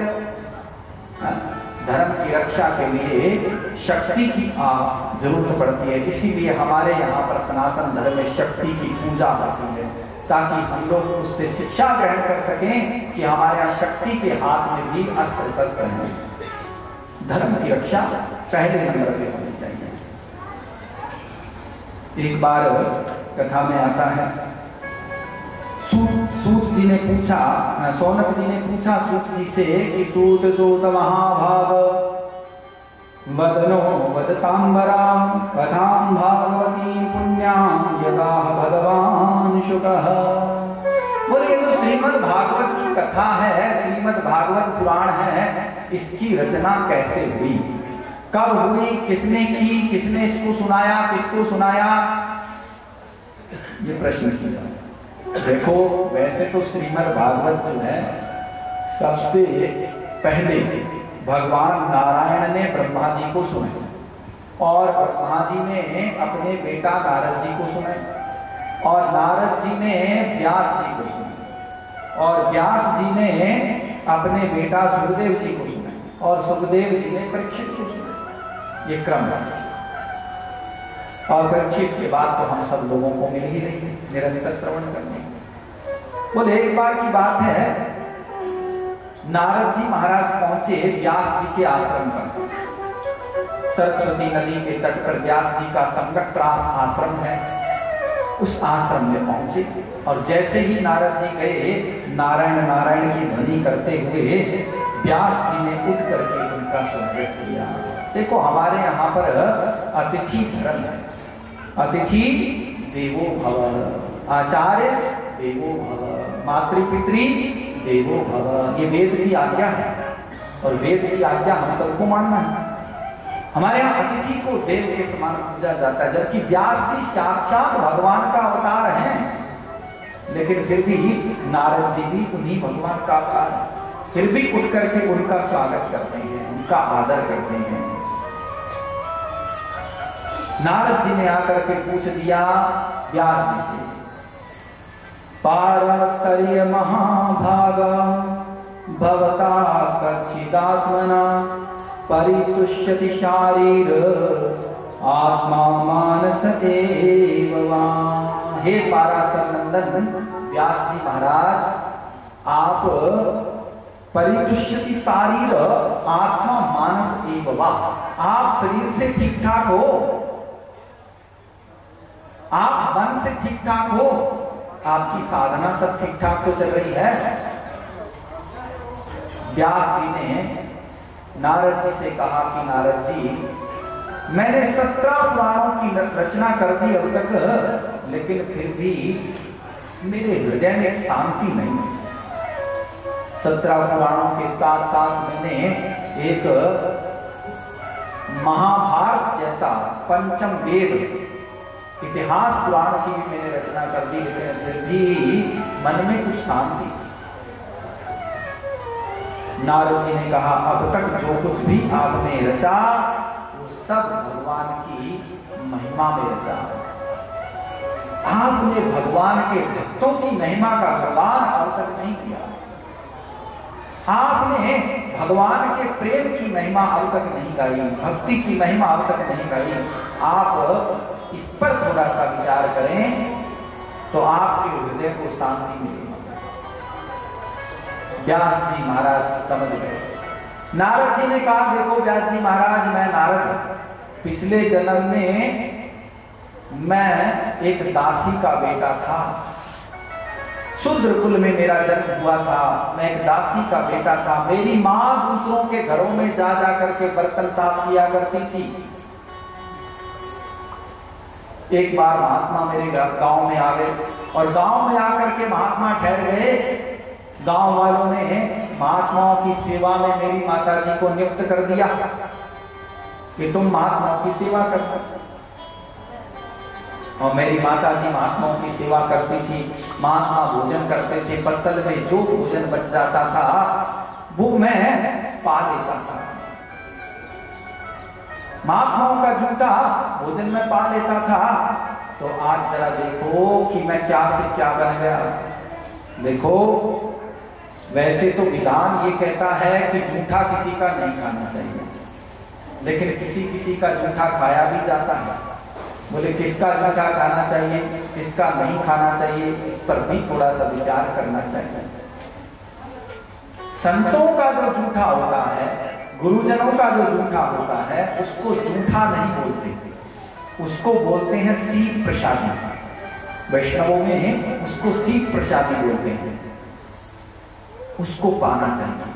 उसको हम पा सकते हैं। संत महापुरुषों का जूठा संत महापुरुषों का, गुरुजनों का जूठा उसको जूठा में उसको प्रसाद बोलते हैं सीत प्रसादी। हम उसको पा सकते हैं। गुणी जनों का जूठा हम पा सकते हैं। विद्वत जनों का जूठा हम पा सकते हैं। लेकिन जो लोग अभक्ष पदार्थों का भक्षण करते हैं जो लोग तमोगुणी भोजन करते हैं ऐसे लोग चाहे वो अपना बेटा ही क्यों ना हो चाहे अपने घर के ही लोग क्यों ना हो उनका जूठा कभी नहीं खाना चाहिए। और जब तक कोई जूठा खाना ना चाहे तब तक उसको कभी जूठा खिलाना नहीं चाहिए। हाँ, महात्मा लोग भी जब तक कोई श्रद्धा से स्वयं पाना नहीं चाहेगा अपना जूठा नहीं देते। इसलिए महात्मा लोग, संत लोग कभी भी पत्तल में जूठा नहीं छोड़ते, थाली में कभी जूठा नहीं छोड़ते? और थाली में भोजन कभी जूठा छोड़ना ही नहीं चाहिए। इससे भोजन का अपमान होता है। इससे भोजन का अपमान होता है। जब थाली हमारे सामने भोजन की आ जाए तो सबसे पहले क्या करना चाहिए? सबसे पहले भगवान का भोग लगाना चाहिए। हाथ जोड़ करके कोई मंत्र नहीं जानते, कुछ नहीं जानते, कोई बात नहीं। हाथ जोड़ करके भोजन की थाली के सामने आँख बंद करके भगवान का धन्यवाद करो कि हे प्रभु, शायद हम इस योग्य नहीं थे, लेकिन फिर भी आपने हमको ये भोजन दिया पाने का, ये आपकी कृपा है। और हम अन्नम ब्रह्म, अन्न साक्षात भगवान का ही रूप होता है, इसलिए उस, उसे भी भगवान समझ करके उस अन्न को प्रणाम करो। तो भोग लगाओ भगवान उसके बाद ये भाव करो कि ये प्रभु, मेरे हृदय में बैठ करके, इस शरीर के भीतर बैठ करके, इस शरीर को माध्यम बना करके आप ही इस भोजन को ग्रहण करो। वो भोजन प्रसाद हो जाएगा। मेरे हृदय में विराजमान होकर के आप ही इस भोजन को ग्रहण करो। वो भोजन प्रसाद हो जाएगा।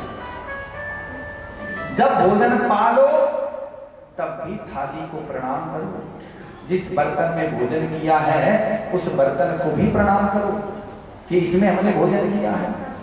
ऐसा नहीं होना चाहिए कि थाली में भोजन किया और उस थाली को एकदम खिसका दिया ये दोष होता है। ऐसा नहीं करना चाहिए। थाली में कभी भी हाथ नहीं धोने चाहिए, कुल्ला नहीं करना चाहिए। कुछ लोग होते हैं ना जो आप नहीं बोलते हैं, चलू कर लियो। भोजन कर लियो तो भोजन के बाद थाली में चलू कर लो नहीं, ये भी अपमान होता है भोजन का। थाली में कभी चलू नहीं करनी चाहिए। हाँ। जैसे भोजन कर लिया, या तो स्वयं उठा करके थाली को रखो। जो व्यक्ति स्वयं थाली को उठा कर रखता है वो चाहे घर का मुखिया क्यों ना हो, उस घर में दोष नहीं लगता, वास्तु दोष नहीं लगता उस घर में। ये बड़ी छोटी छोटी बातें हैं, लेकिन बड़े बड़े फ़ायदे हैं। अगर घर के मुखिया हो, भोजन करके थाली स्वयं मांजने वाली जगह पर अगर आप रखते हो तो घर में कभी भी ना तो वास्तु दोष लगेगा, ना अन्नपूर्णा दोष लगेगा। माता अन्नपूर्णा हमेशा प्रसन्न रहेगी। थाली में हाथ रखो।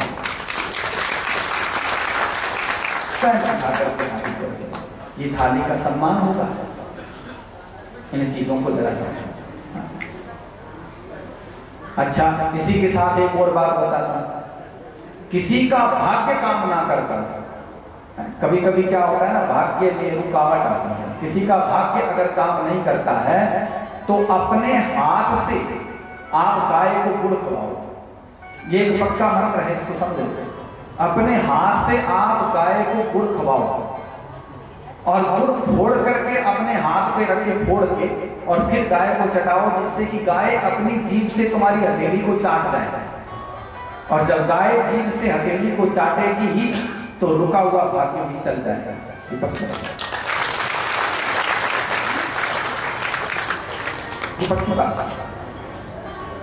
गाय को रोज पहली रोटी जो आप चूल्हे में रोटी बनाते हो, पहली रोटी आप गाय के लिए निकालो। देखो, गौ माता को साधारण मत समझना। शरीर ही पशु का है, बाकी उस शरीर के भीतर हमारे सारे देवी देवता समाहित हैं। अभी आगे प्रसंग आएगा, इसमें भागवत जी में भी प्रसंग आता है, ये आप लोगों को सुनने को मिलेगा। गाय गौ माता को साधारण मत समझना। ये पशु नहीं है, पशु का तो शरीर है। और अगर आप पशु ही समझते हैं तो भगवान ने तो बरहा अवतार धारण किया है। भगवान ने बरहा अवतार धारण किया है तो बरहा अवतार में तो भगवान का शरीर पशु का है सूर का। लेकिन है तो भगवान। कच्छप अवतार धारण किया, शरीर तो कछुए का लेकिन तो भगवान। लेकिन ये तो भगवान के केवल एक एक अवतार हैं, जिसमें एक एक रूप से भगवान। लेकिन गौ माता के शरीर में तो जितने भगवान के अवतार हैं, वो सब के सब समाये जिसके घर में वास्तु दोष हो अगर कोई ज्योतिषी आपसे कह दे कि महाराज, आपके घर में वास्तु दोष है, ये करना है, वो करना है, कुछ मत करना भले। अपने घर में आँगन में ले जा करके गौ माता को चारा खिलाना और घर में गौ माता को फिरा करके जहाँ जहाँ चरण पड़ेंगे, गौ माता निकल करके बाहर आएगी, घर के सारे दोष खत्म हो जाएँगे गौ माता आ जाती हैं गौ के शरीर में से एक इस प्रकार की पॉजिटिव ऊर्जा निकलती है, सकारात्मक ऊर्जा निकलती है ऐसी शक्ति निकलती है गौ के शरीर में से, जो उस वातावरण को अनुमोदित करती है। वातावरण को शुद्ध करती है। जितनी जगह में गौ बनी हो, जिस जगह पर गाय बनी हुई होती है, उस जगह के आसपास के वातावरण में किसी भी प्रकार की नकारात्मक ऊर्जा का वास नहीं हो सकता। जिसको आप लोग कहते हो ना, भूत प्रेत है, ऊपरी चक्कर है, ये सारी चीज़ें है। गौ माता अगर बनी हो, उस जगह पर इन चीज़ों का प्रभाव नहीं पड़ता। और जो लोग रोज आकर के गौशाला में गौ माता के शरीर पर हाथ फिराते हैं, या गौ माता के पास खड़े हो जाते हैं, हाथ फिराते हैं, उनके बहुत सारे रोग तो अपने आप ही कट जाते हैं।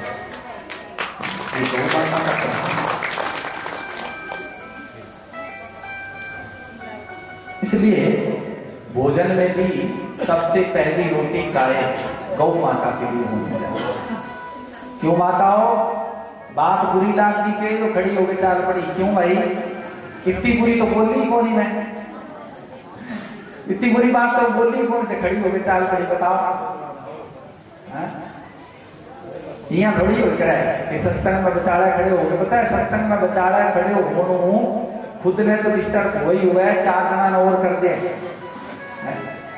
सत्संग में खड़े बचाड़ा खड़े नहीं होना चाहिए, बस चलता। जे टाइम ही ना हो तो अगला पास ही बैठ जाए करो ले ले खिसक ले?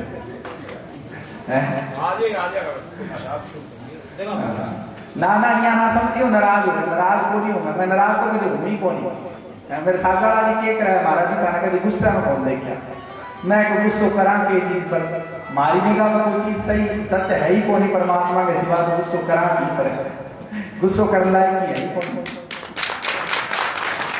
गुस्सो करने लायक भी तो की होना चाहिए कोई? छोटी छोटी चीजा पर के गुस्सो करना?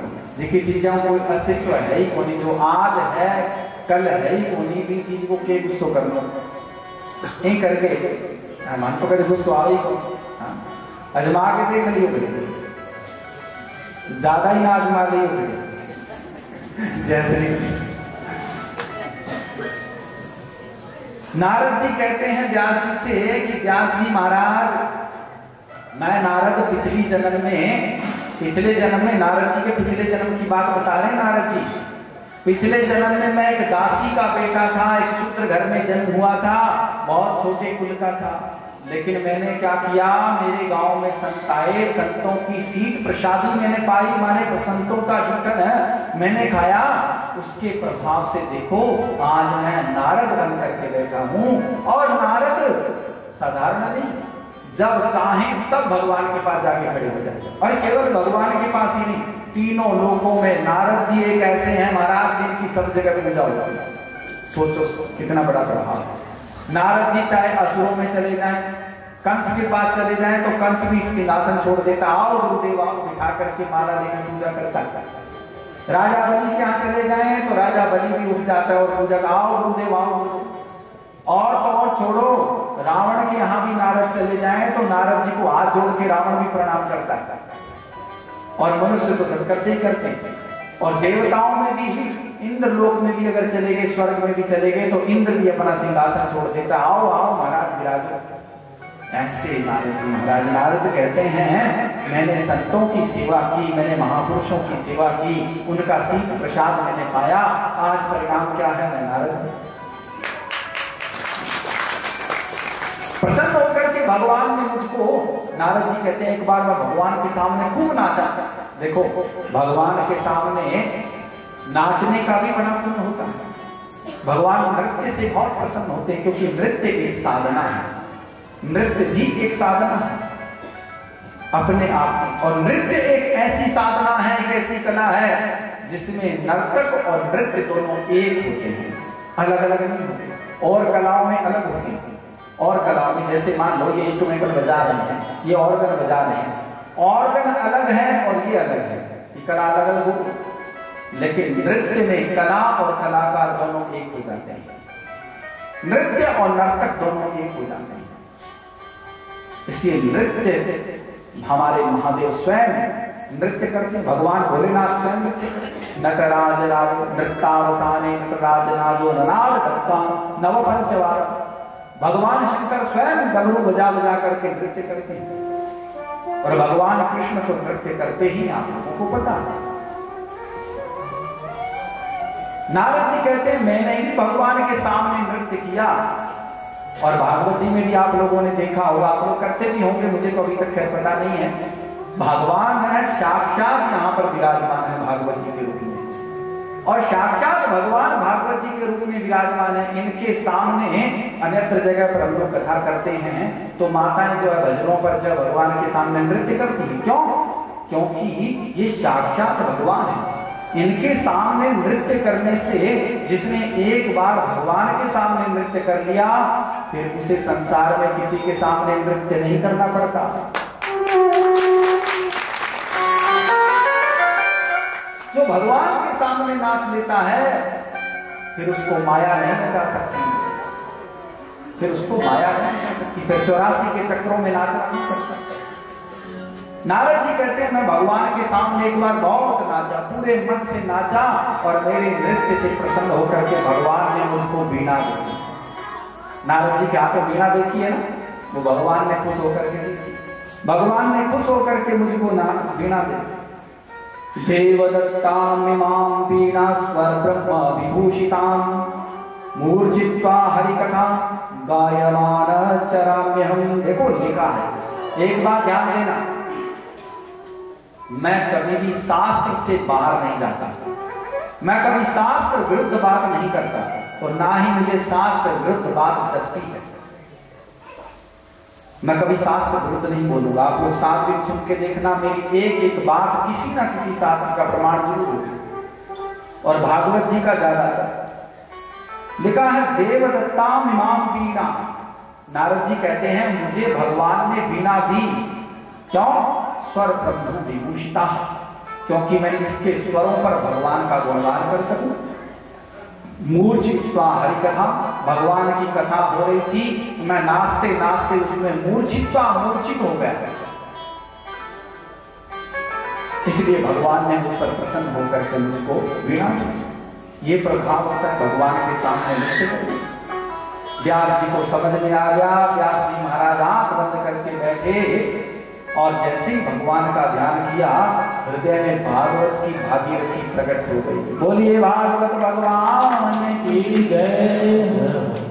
व्यास जी महाराज बोलते गए और गणेश जी महाराज लिखते चले गए। इस प्रकार भागवत जी की रचना हुई। और जब भागवत जी लिखी गई तो लिखने के बाद सबसे पहले व्यास जी ने इस भागवत को अपने पुत्र सुखदेव जी को सुनाया। क्यों? क्योंकि व्यास जी ने ये विचार किया कि इस भागवत का वास्तविक अधिकारी कौन है? कौन अधिकारी? बोले, अधिकारी वो है, यम प्रवजन तमनपे तमपेत कृत्यम। बोले, अधिकारी वो है जो कृत्य कृत्य है, जिसको कोई वासना नहीं है संसार में, जिसको कुछ नहीं चाहिए, जो विरक्त है। वो अधिकारी है। हाँ? यम प्रवजन तमनपेत तमपेत कृत्यम। जो कृत कृत्य हो चुका है, वासना रहित है, कामना रहित है, जिसको कुछ नहीं चाहिए।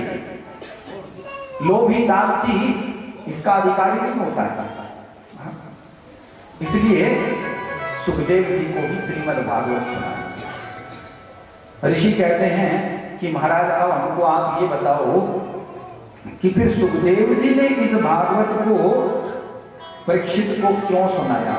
किस लिए सुनाया? क्योंकि सुखदेव जी तो कहीं भी एक जगह टिकते ही नहीं है, परम विरक्त चलते ही रहते चलते ही चरे हुए चरे हुए हमेशा चलते ही रहते उन्होंने क्यों और कब सुनाया? अब यहाँ से एक छोटा सा प्रसंग शुरू होता है महाभारत का। एक भजन सुन लो, उसके बाद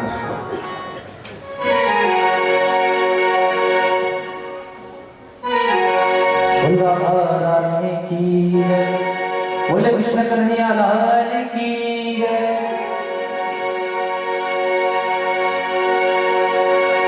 अपनी पायल का घुंघरू बना लो मुझे। सुंदर भाव है, भक्त कहता है, हे राधा रानी, ज़्यादा कुछ नहीं तो जो पायल आप घुंघरू मुझे बना दीजिए। शरणों से अब लिपटा लो मुझे। शरणों से अब लिपटा लो मुझे। अपनी पायल का घुंघरू बना लो मुझे। अपनी पायल का घुंघरू बना लो मुझे। शरणों से अब लिपटा लो मुझे। शरणों से अब लिपटा लो मुझे। अपनी पायल का घुंघरू बना लो मुझे।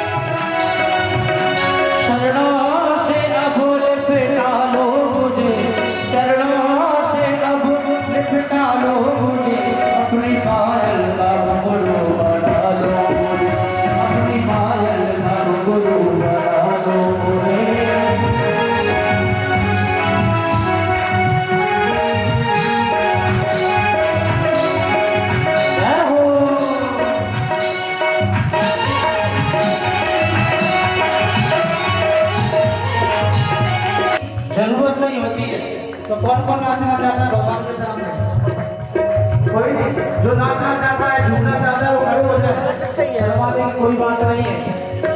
क्योंकि कहते हैं जिससे कहीं शर्म और उसके होते। कर्म तो कर्म मत छोड़ो।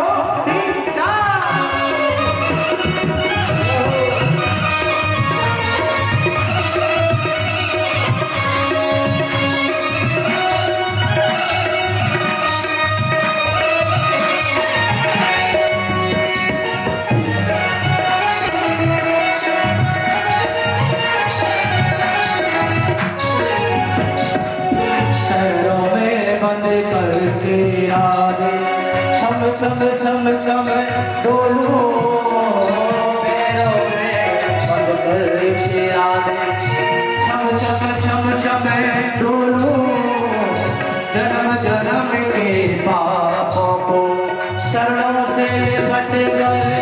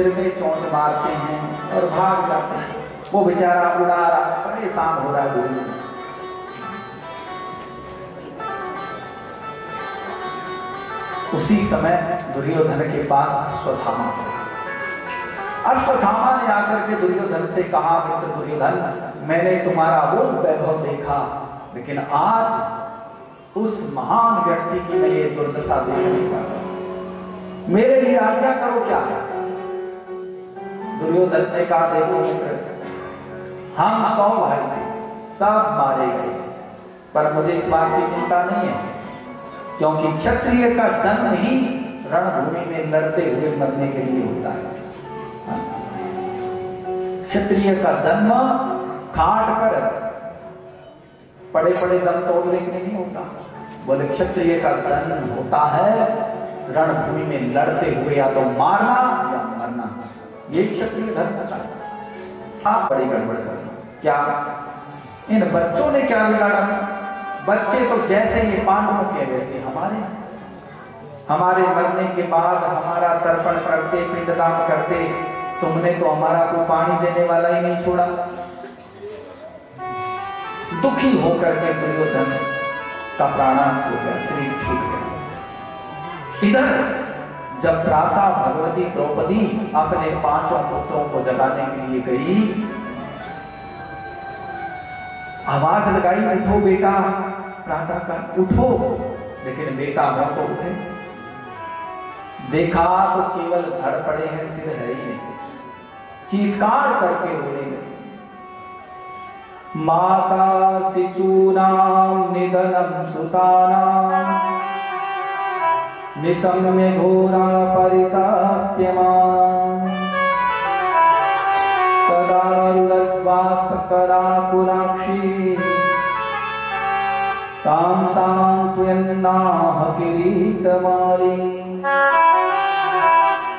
अर्जुन ने आकर के कहा, देवी, चिंता मत करो। जिसने भी तुम्हारे पुत्रों की हत्या की है, मैं अर्जुन प्रतिज्ञा करता हूँ कि आज सूर्य अस्त होने से पहले पहले उस दुष्ट को मैं मृत्यु दंड दूँगा।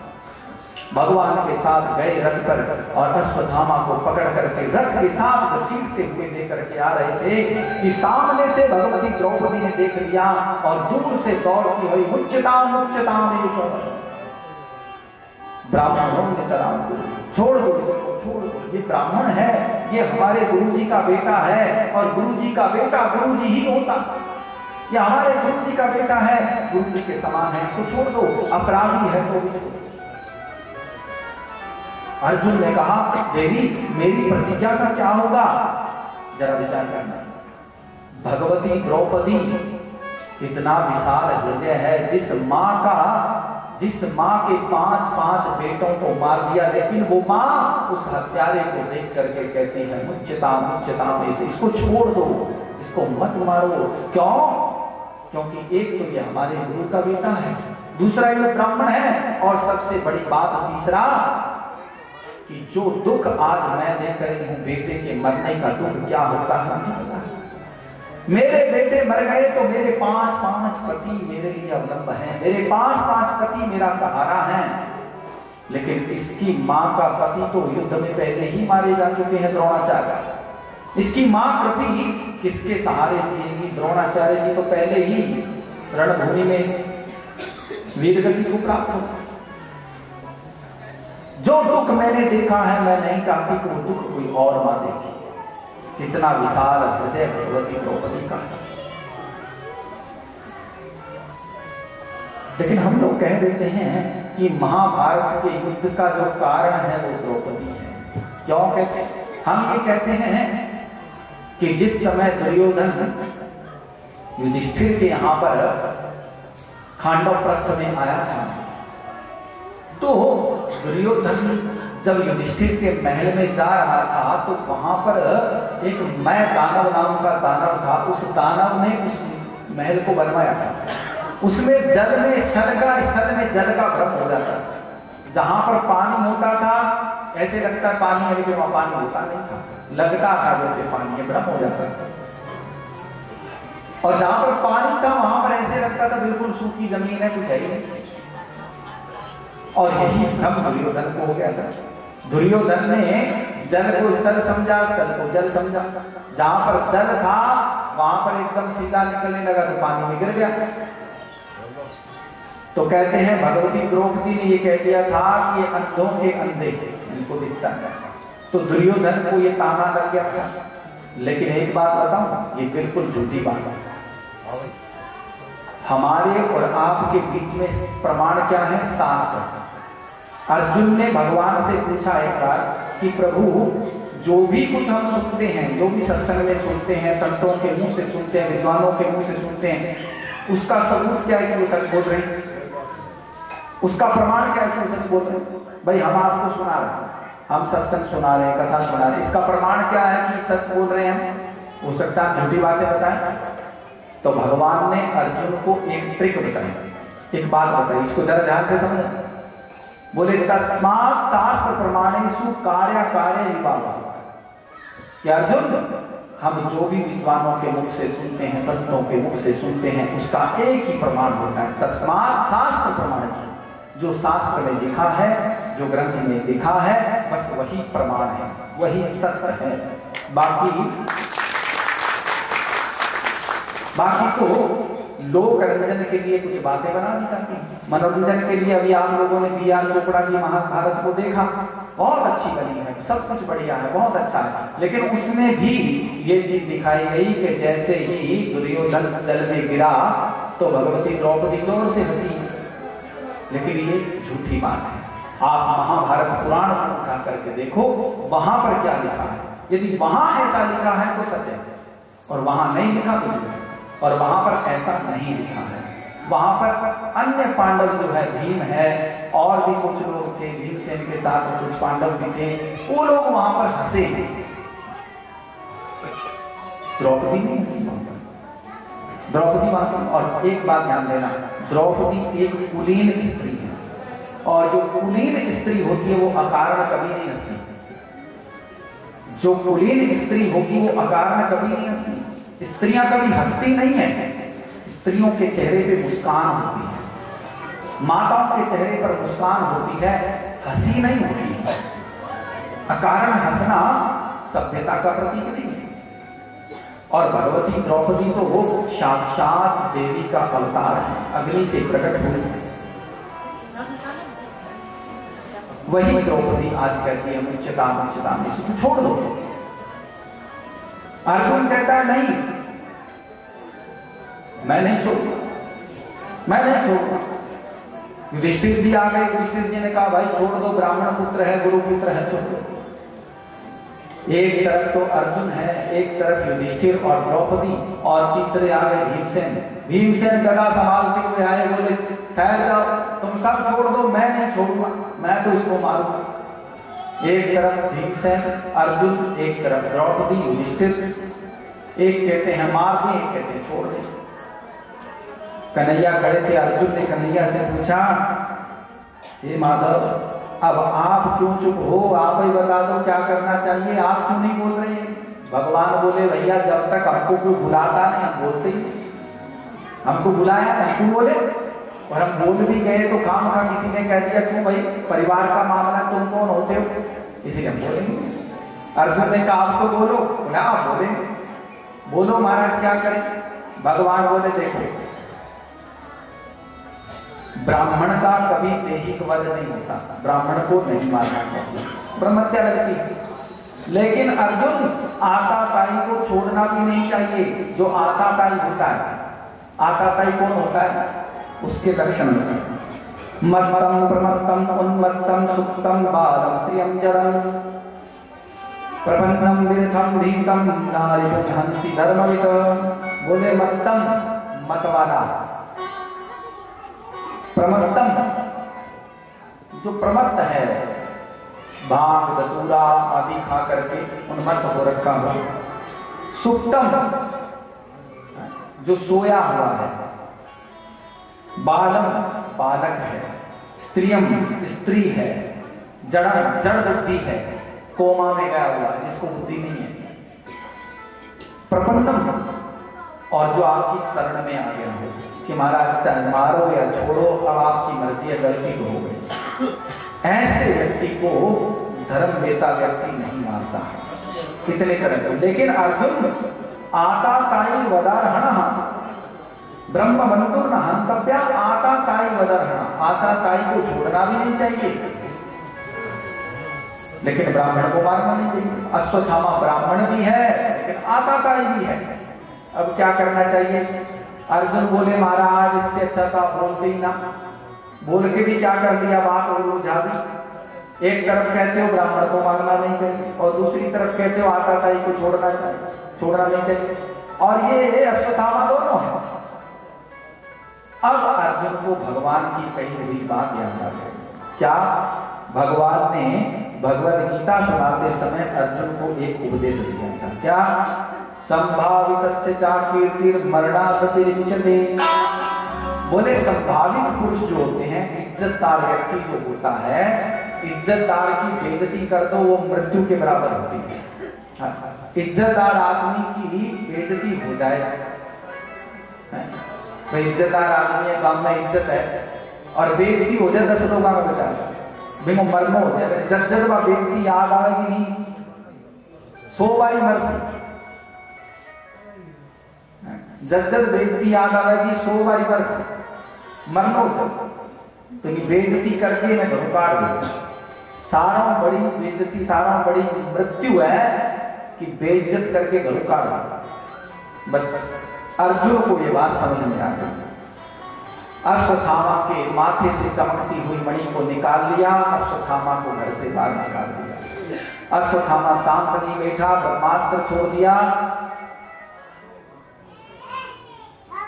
अभिमन्यु की पत्नी है उत्तरा।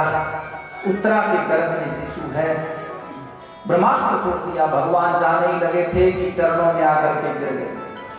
प्रभु मेरे गर्भ की रक्षा करो। भगवान ने सूक्ष्म रूप बनाया और उत्तरा के गर्भ में जाकर के उत्तरा के गर्भस्थ शिशु की रक्षा की। अब भगवान द्वारिका के लिए जाने लगे तो भगवती कुंती ने भगवान के सामने हाथ जोड़ करके भगवान की बड़ी सुंदर स्तुति की। भगवान के सामने हाथ जोड़ करके भगवती कुंती खड़ी हो गई और भगवान की सुंदर स्तुति की। भगवान ने माता कुंती की स्तुति को सुन करके कहा तो बुआ जी, आप क्या चाहती हैं? क्यों मेरी स्तुति कर रही हैं? मैं तो आपका भतीजा हूँ, मेरी स्तुति क्यों? माता कुंती ने कहा नास तत्र तत्र जगद गुरु भवतो दर्शनम पुनर्भव दर्शनम नास तत्र तत्र जगद गुरु हे जगत गुरु हे प्रभु, अगर आप मुझे कुछ देना ही चाहते हैं तो आप मुझको बहुत सारी विपत्ति दें। विपत्ति दें हमको, दुख देने हमको। क्यों? क्योंकि जब तक हमारे ऊपर दुख था तब तक आप हमारे साथ थे। महाभारत जैसा विशाल युद्ध हुआ, उसमें आप हमारे साथ रहे वनवास हुआ, आप हमारे साथ रहे आज जब सारे दुख के बादल छट गए तो आज आप भी हमको छोड़ करके अलग हट गए। आप भी हमको छोड़ करके जा रहे हो। इससे अच्छा तो वो दुख थे, जिनमें आप हमारे साथ थे। कहे हनुमत विपति प्रभु सोही, जब तक राम भजन नहीं हुए। सबसे बड़ी विपत्ति कब होती है जब भगवान का भजन नहीं होता? सबसे बड़ी विपत्ति होती है जीवन कुंती माता की बात सुन करके भगवान ने कहा तो ठीक है माता जी अगर ऐसी बात है तो हम जाएँगे तो रुक गए। माता कुंती यूँ प्रसन्न हो रही हैं कि मेरे लिए रुके, लेकिन भगवान किसके लिए रुके थे? भगवान के एक अनन्य भक्त हैं पितामा भीष्म, जो कुरुक्षेत्र की भूमि पर तीरों की सैया पर। लेटे प्रतीक्षा कर रहे हैं कि कब भगवान आवे और कब मैं इस कलेवर को त्यागूं, क्योंकि इच्छा मृत्यु के वरदान पांडवों को साथ लेकर के भगवान गए।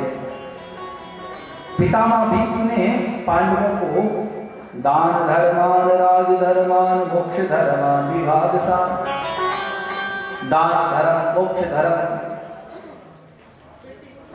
भागवत धर्म का उपदेश दिया। और भगवान को हाथ जोड़ करके कहा कि प्रभु, बस आपसे तो एक ही प्रार्थना क्या? सा देव देवो भगवान प्रतीक्षताम कलेवरम यावदिदं ह्योम्यहम्। प्रसन्नः कारुणलोचनोलसन्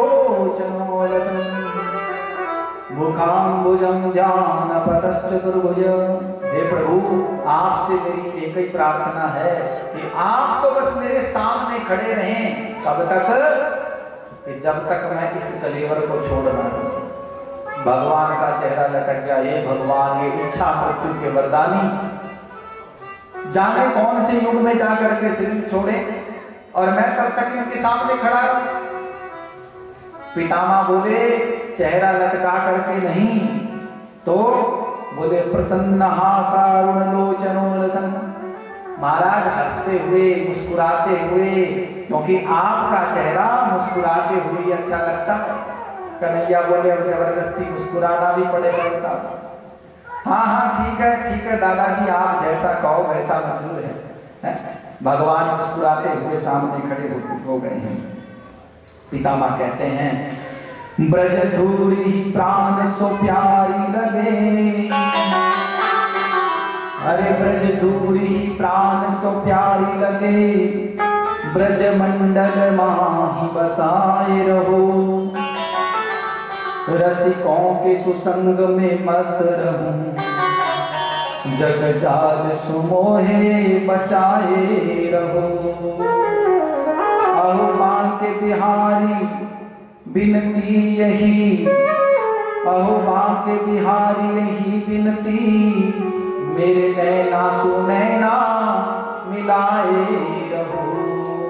मेरे नैना सुनैना मिलाए रहो। सामने भगवान खड़े हुए हैं। पितामह भीष्म ने ग्यारह श्लोकों में पुष्प तंत्रा छंद में भगवान की स्तुति की, इसी को श्रीमद् भागवत में भीष्म स्तुति कहते हैं। इति मति रूप कर पिता कृष्ण। इति मति रूप इति मति रूप कर पिता कृष्ण। भगवती सात्वत पुंगवे भूमि। स्वसुखमुपगते क्वचित् विहर्तुं प्रकृतिमुपेयुषि भव प्रवाह। त्रिभुवनकमलं तमार्वर्णं रविकरगौरवराम्बरं दधाने। वपुरलिककुलावृतान्नाब्जं विजयसखेरतिरस्तु मे नभत्या युदितुर्गिरजो विलोम्रविश्वाक कचरुलिलाश्रमवार्यमुत्रनांसे मम सिद्धि मम सिद्धि सैविभ्यत्यमाना स्वचिविलसत्कवचित्तो कृष्ण आत्मा।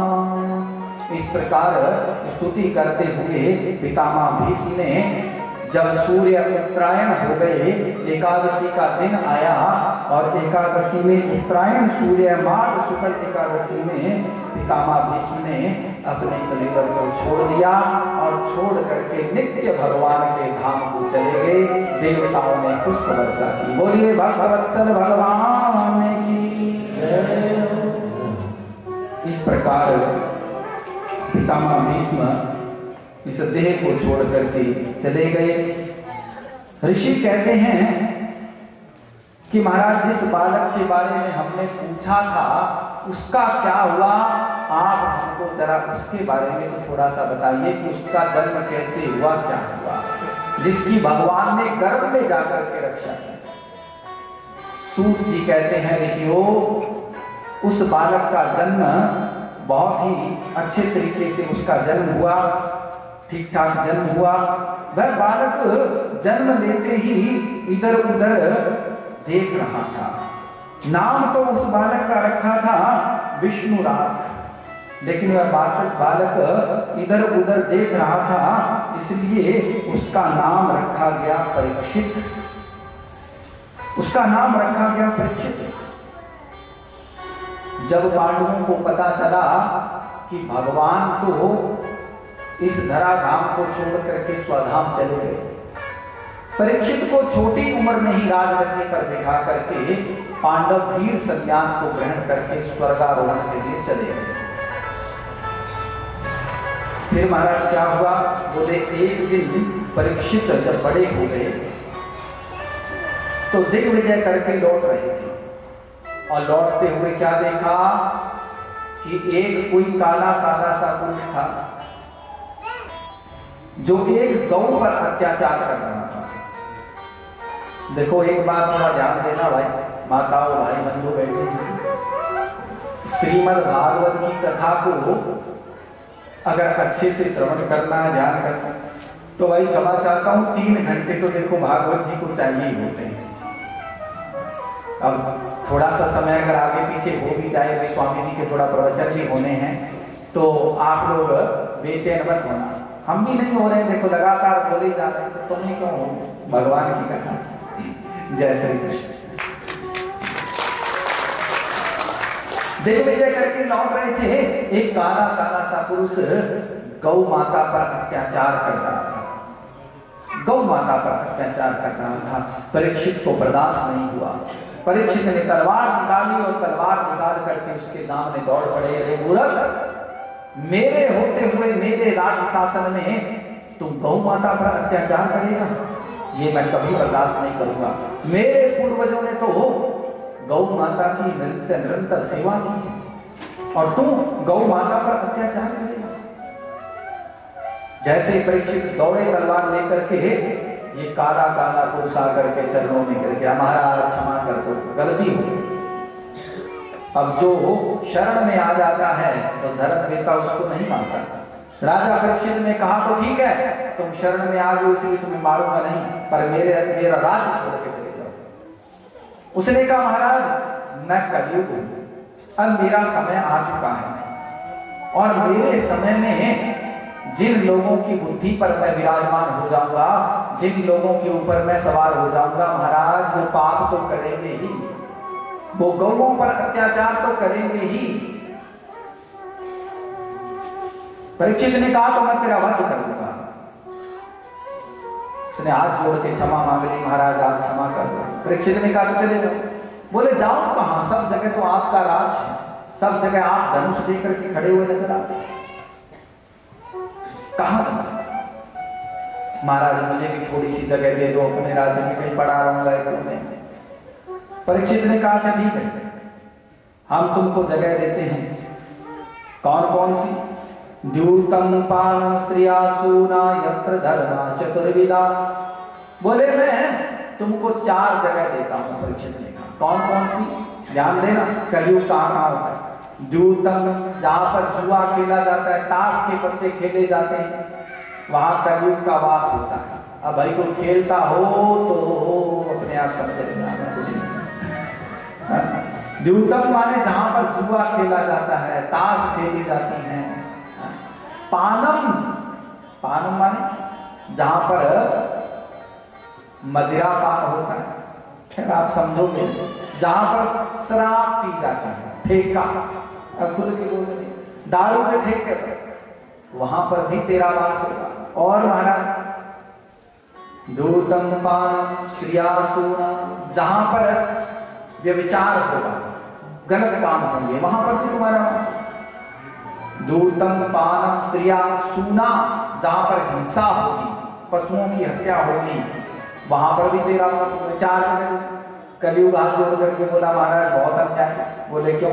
सारी गंदी गंदी जगह देती एक कमरा तो ठीक ठाक दे देते, जिसमें चैन से पड़ा रहता हाँ? चारों कमरे गंदे गंदे देती है बताओ। एक अच्छा सा दे दो। परीक्षित बोले, क्यों भाई? तुम में कौन सी अच्छी बात है? हाँ? तेरे में के अच्छी बात है लोकनाथ छो कमरों देते हैं। बोले, महाराज, एक अच्छी बात है। बोले के अच्छी बात है बताओ? बोले, मुझमें एक अच्छी बात है। क्या? बोले, मेरे समय में, मेरे राज्य में, अब तक जो युग बीत गए सतयुग त्रेता द्वापर उनमें जो फल तपस्या करने से मिलता था, साधना करने से मिलता था, हज़ारों वर्ष के तप से मिलता था। वो मेरे समय में केवल भगवान का भजन करने मात्र से मिल जाएगा केवल भगवान का भजन करने मात्र से, केवल गौ सेवा करने मात्र से वो फल मिल जाएगा, जो फल तप तपस्या से मिला करता था। महाराज, कुछ ना करे कलयुग में कोई। बस दो ही काम करे। बोले, क्या? कि मुख से जिह्वा से भगवान का भजन करे और शरीर से गौ माता की, संत महात्माओं की सेवा करे। बस उसका कल्याण निश्चित कंठर्म है। कलयुग केवल नाम आधारा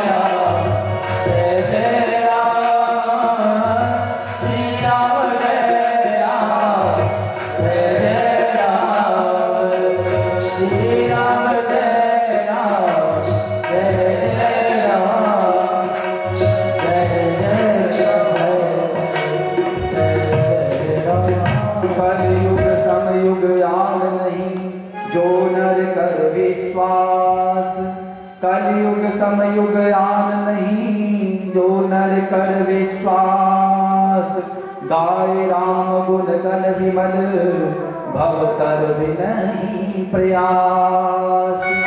भव कर नहीं प्रयास। ही सहारा होगा। मेरा नाम, मेरे कर्म समय में केवल भगवान नाम देने मात्र से लोग पार हो जाएँगे। परीक्षित को बस यही बात अच्छी लग गई और महाराज परीक्षित ने कह दिया, देखो प्रसन्नता में आकर के कभी किसी को वचन मत देना और क्रोध में आकर के कभी किसी को वचन मत बोलना। दोनों बातों का ध्यान रखना। प्रसन्नता में आकर के किसी को वचन मत दे बैठना और क्रोध में आकर के किसी को वचन बोल मत बैठना। हाँ, ये दोनों ही चीज़ें बाद में बहुत दुखदायी हो जाती है। कभी कभी बड़ी खुशी होती है खुशी खुशी बोला अच्छा ठीक है ले जाओ तो चीज़ हमारे घर से उठा है? और आदमी को लेके जाओ फिर फिर काल जो काम पहले के बैठे काम खाए, हैं? अरे खुशी खुशी में के बैठे तो ले रही पड़े तो ले ही जो सकते यार फिर मैंने दुखी हो काम का इन वाच है कि दादा खुशी में कि केण हुई है? और क्रोध मार्ग कभी से वचन ना बोलो, कि बाद में लेना में देना पड़ से आदमी करते क्रोध तो थोड़ी देर को है, फिर उठ जाए और बाद में पछताओ है भगवान हो तुम्हारा काम हो आदमी में किसी बात बोल दी है? फिर देना के लेना पड़ता परीक्षित खुशी में आगे बोल दिया परीक्षित ने कि जाओ, तुम्हारा वास स्वर्ण में नहीं होगा। हाँ? जाओ, तुम्हारा वास स्वर्ण में होगा, सोने में। और परिणाम क्या होगा? एक दिन महाराज परीक्षित सोने का मुकुट लगा करके जा रहे थे वन में कि प्यास लगी, और प्यास लग तो एक महात्मा के आश्रम में घुस। गए और महात्मा के आश्रम में जाकर के क्या देखा? महाराज जी ही आसन लगा करके बैठे थे हाँ? आसन लगा के आँख बंद करके बैठे थे और परीक्षित ने क्या सोचा? अरे महाराज जी ने नकली समाधि लगा रखी है मुझे देख करके आँख बंद कर दी कि राजा को चाय पानी ना प्याना पड़ जाए। देखो, ढोंग कर रहे हैं समाधि का। उठाया, मरा हुआ सांप वहाँ से और महात्मा के गले में डाल दिया। जब बुद्धि का नाश होता है तो आदमी कोई काम करता है। क्या? बुद्धि नाश होती है तो एक काम तो करता है कि अपने ही लोगों से विरोध करता है। अपने ही घर वालों से परिवार वालों से भाई बंधुओं से विरोध करता है। और दूसरा काम करता है, संत महात्माओं की, ब्राह्मणों की ही बेजती करता है, अपमान करता है। ये बुद्धि नाश करते हैं। विनाश काले विपरीत बुद्धि। परीक्षित की मुकुट पर बैठा था कलयुग, क्योंकि सोने का मुकुट कलयुग ने ये गलती करवा दी। परीक्षित तो चले गए। महात्मा का बेटा आया श्रृंग ऋषि और ऋषि श्रृंग ने आकर के देखा कि मेरे पिता के गले में है। कोई बड़ा हुआ सर्प डाल बस क्रोध आ गया, क्रोध में आकर के श्राप दे दिया। करके राजा राजा ने परीक्षित ने कलयुग को सोने में स्थान दिया। और यहाँ क्रोध में आकर के ऋषि को श्राप दिया। दोनों मत में। दोनों के परिणाम देखो। क्रोध में आकर श्राप दिया।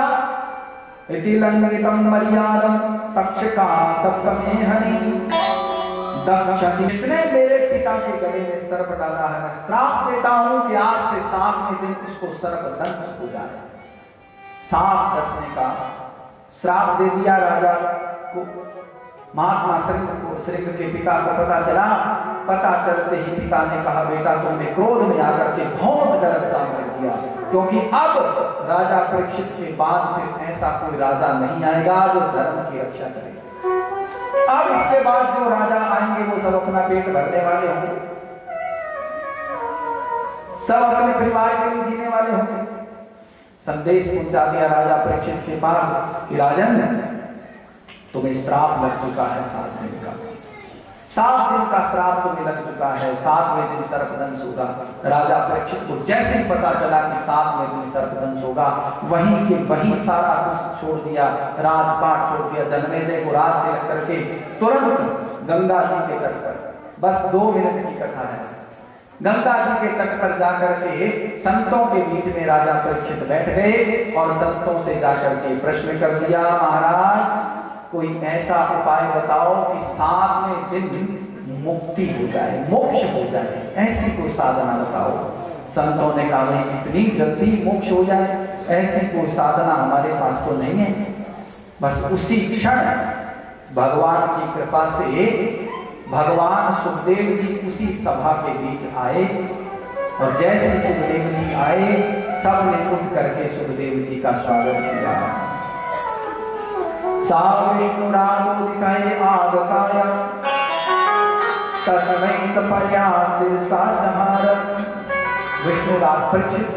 करके भगवान सुखदेव जी का स्वागत किया।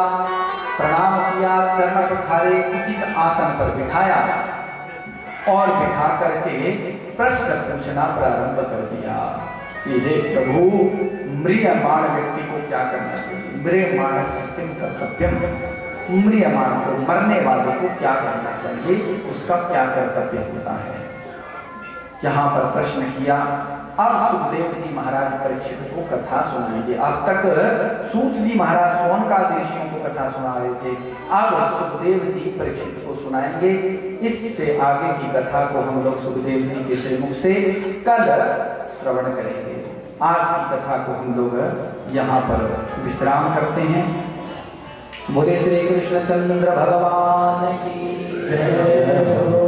परम पूज्य, परम श्रद्धेय श्री स्वामी मधुसूदन सरस्वती जी महाराज।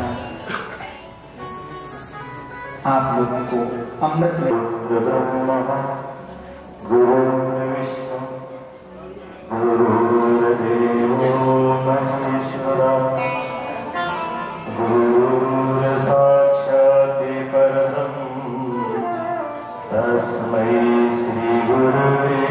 नमः।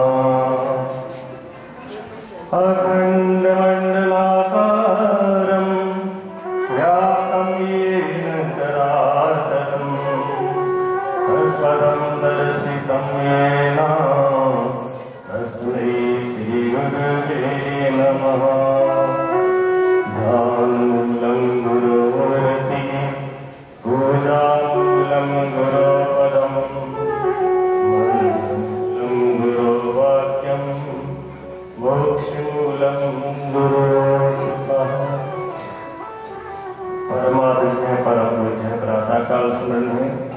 ब्रह्मलिंग ब्रह्मनिष्ठ श्री सतगुरुदेव के पावन चरणों में कोटि कोटि प्रणाम। वह परमात्म है परम प्रेमास्पद। व्यास व्यास आसी आचार्य दिव्य चेतन जी महाराज। वह उनके साथ विराजे हुए भजन मंडली और हमारे रमाकांत जी। जो सुबह पूजन करवाते हैं यज्ञाचार्य धर्म अनुरागी माता बहनों, भाइयों, बोलिए सच्चिदानंद भगवान की। बोलने को तो ऐसा कथा कथा में सब कुछ अपने आप में परिपूर्णता होती है, और है भी। समझ धीरे धीरे आती हर चीज़ की एकदम नहीं आती किसी को भी।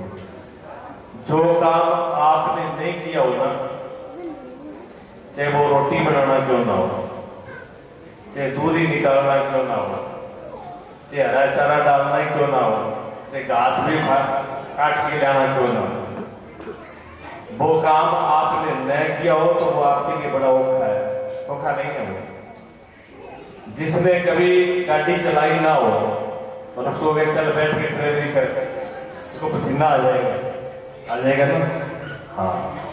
उसको पसीना आ जाएगा। इसी प्रकार अगर हमने शास्त्रों का अध्ययन नहीं किया, भगवान का भी नाम नहीं लिया तो लेने में पसीना आएगा। अगर शास्त्र नहीं पढ़ा तो भी। शास्त्र अगर नहीं पढ़ा है तो शास्त्र की बात सुनने में भी पसीना आएगा पर बड़े चढ़ेगा अगर आपको सुनने में दिक्कत होती है तो आप ये घबराए नहीं। अगर घबरा जाए कोई भी ड्राइवरी सीखने वाला, घबरा जाए कोई भी बच्चा स्कूल में पढ़ाई करने से तो वो कभी भी कामयाब नहीं होगा। वो पढ़ पाएगा कभी, नहीं पढ़ पाएगा। घबराता है बच्चा, लेकिन माँ बाप क्या करते हैं? लालच देते हैं टॉफी का लालच देंगे, खाने पीने का लालच देंगे। उससे निकाल कर चले जाओ तो क्या कहेंगे? तेरे को साइकिल लिया के देंगे, बढ़िया से पड़ेगा तो। बच्चों को छोटे छोटे साइकिल चलाने का शौक होता है। अब जब शौक होता है तो कई बार साइकिल से गिरते हैं। चोट भी लगती है, लेकिन शौक साइकिल का है तीस बार गिरे, साइकिल चला लेते हैं। चला लेते हैं ना? हाँ। शौक होना चाहिए। शौक का मतलब प्रेम होना चाहिए। प्रेम का मतलब लगाव होना चाहिए। परमात्मा से कथा से, भगवान से का लगाव है तो कितना भी औखा लगता हो कोई बात भी गिरे, फिर भी हम पहुँच ही जाएँगे। इसलिए अगर समझ में नहीं आए तो घबराएँगे। दूसरी बात, हमने अध्ययन नहीं किया। सुबह शुरुआत में चर्चा चली, धर्म के ऊपर, धर्म के लिए क्या करना चाहिए? हमारा अलग अलग धर्मों के शास्त्र को बताया गया। हमारा जो है धर्म शास्त्र ये है। देख लीजिए। श्रीमद भगवत गीता जी, ठीक है? ये रमेश जी ने जाके हमारे पास में रखी है। और लाके रखी और कहा कि अगर हरिद्वार जाना मुश्किल है, सिरसा जाना मुश्किल है, वृंदावन जाना मुश्किल है तो मेरे पास ये गीता जी उपलब्ध है। दो सौ रुपए इसकी कीमत है, सिर्फ़ कीमत दे दे और कोई भी रमेश जी से ले सकता है। ठीक है? ये भी एक धर्म का काम है। अपने धर्म की उपलब्धि, अपने को घर बैठे भी कोई उपलब्ध कराए, ये भी होता है। देखो, अगर हरिद्वार जाओगे ना लेने के लिए तो हज़ार रुपए तो किराया खर्च हो ही जाएगा। फिर को उठा के भी ले आओगे। और फिर आपके पास इतना सामान होता है, पहले से कस कस के कस कस के भरे होते हैं। अब पता नहीं कितना सामान क्या मुझे ये पता नहीं था, मैं पहले सोचता था, ये बहुत काम की चीज़ें लेके जाती हैं, जब इतना सामान इनके पास होता है। एक बार मेरा पल्ला पड़ गया, लखनऊ के अंदर एक घर का मोड़ था, कोठी का मोड़ था फिरोजाबाद से जाना था। गुड़िया फिरोजाबाद की थी, ससुराल, लखनऊ थी। तो वो सब मिलने वाले थे, खास थे प्रधान जी की बुद्धि थी। तो उन्होंने कहा स्वामी जी आपको ये मुहूर्त करना है, आपको ये और यहाँ पर आपके साथ में बेटा भी जाएगा, बहू भी जाएगी, सब लोग जाएँगे। तो आप मुहूर्त करें आना मैंने कहा ठीक है, चले जाएँगे। अब हमारे पास तो कपड़े दो रहते सबको मालूम है यहाँ पर एक पहनने की वर्दी मैं रखी है में और एक मेरी बस ये इतनी गृहस्थी है, चाहे यहाँ महीना रुक जाए, चाहे साल हो जाए, चाहे पूरी ज़िंदगी घूमते रहे, हमारी गृहस्थी इतनी रहती है, इससे बड़ी गृहस्थी आई है हमने तो अपना लिया एक चल दिए। अब वो बेटा उनके पास चार चार, पाँच पाँच। तो मैंने सोचा कि काम मुहूर्त है तो ज़रूरी सामान है तो जाना पड़ रहा है। तो मैंने कहा अच्छा ऐसा करते एक बैग हम उठा लेते हैं। तो हमने भी एक बैग उठवा के ट्रेन में रखवा लिया भी। जब हम वहाँ पहुँचे, तब बैग उन्होंने खोला। तो उन पाँच बैगों के अंदर सिर्फ़ देवी जी के कपड़े थे। और हर कपड़े के साथ में चूड़ियों का और चप्पल जूतों का सबका सेट था। मैंने मत पर किस दिया मैंने क्या गलती मैंने की, जो ये बैग उठवाया अगर मुझे मालूम होता तो रास्ते में पटक के आता। लेकिन अब ध्यान रखना, लौट के जाऊँगा। चाहे अपने पे फेंक देगी हो चाहे सिर पे उठा के ले हो पर ये हाथ लगाने वाला नहीं मैंने तरह बैग को आता ही गया। मैं तुम ज़रूर तुम्हारा काम है। जब एक बस्तर से काम चल सकता है तो ज़रूरी थोड़ी ना इतने इतने लाद के चलो। आपके वज़न इतने बड़े गृहस्थी के हैं, बेमतलब के, कि शास्त्र का आपको वज़न लगेगा। ये शास्त्र उठाने में आपको वज़न लगेगा वहाँ से जाने के लिए। ये तो तरफ़ करते महात्माओं को शास्त्र का वज़न नहीं लगता, और आपको अपने कहना का वज़न नहीं लगता। इतना ही फ़र्क है। साधु का अब देख लिए ये बैग सही नहीं चल रहा तो जिस चीज़ में हमारी लगन होती है, वो चीज़ हमको आसान लगती है सहजता से प्राप्त हो जाती है। ये बात ध्यान रखिएगा। ठीक है ना? और अगर आपको भजन लग रहा है, भागवत का भजन लग रहा है, शास्त्र का भजन लग रहा है, सुनने में भजन लग रहा है तो आप समझ लो कि ना तो हमारी लगन है। ना हम सुनना ही चाहते हैं, ना इस रास्ते पर चलना ही चाहते हैं। ये कलयुग आपके लिए नहीं है, ये कलयुग किसके लिए है? कलयुग ने कहा कि इसमें जो राम का नाम लेगा, उसका उद्धार हो जाएगा, मेरी विशेषता है। लेकिन इसमें जो उल्टे राह चलेगा उसका कल्याण जल्दी कर दूँगा। जुआ घर में, ताश में चक्का में तो भाई, बुरा लगे तो सौ बार लगे, ताश करते बहुत बड़े। तो ये समझ लो कुन्ने कुन्ने में गौशाला के अंदर धर्म वाली जगह तो गौशाला है, मंदिर है, वो कम है। लेकिन वो कलयुग वाले अड्डे जाता है। अब वो उनकी किस्मत है कि वो क्या करना चाहते हैं। जगाना हमारा, कहते संत चौराहे पर संत सफ़ाई, हरी लाल झंडी दिखलाई ये संत जो है, सफ़ाई का काम करते हैं। ये बिल्कुल आपकी पहरेदारी में रहते हैं। देखो, पुलिस जब खड़ी होती है ना चौराहे पर, वो आपको दंड देने के लिए नहीं खड़ी होती। पुलिस जब चौराहे पे खड़ी है, जब चौकी में थाने में आपको दंड देने के लिए नहीं खड़ी होती है, वो किस लिए होती है? वो आपकी सुरक्षा के लिए होती है। और जो अपराधी होता है, उसको दंड देने के लिए होती है। ठीक है ना? ये सिपाही परमात्मा के भगवान के बनाए हुए हैं। ये धर्म के, ये सनातन के जो सिपाही हैं, ये बार बार चेताते रहेंगे, आपको जगाते रहेंगे हो सकता जाओ एक्सीडेंट हो जाएगा। नहीं मानोगे तो फिर एक्सीडेंट होना ही होना है। और एक्सीडेंट होगा तो चोट किसको लगेगी? सिपाही को। सिपाही को नहीं लगने वाली। जो बेहोशी चलेगा उसको जिसका हुआ वो दुख भोगेगा। तो बार बार जगाते हैं कि जग जाओ जग जाओ जग जाओ, ये ना हो चौरासी के चक्कर में घूम जाओ।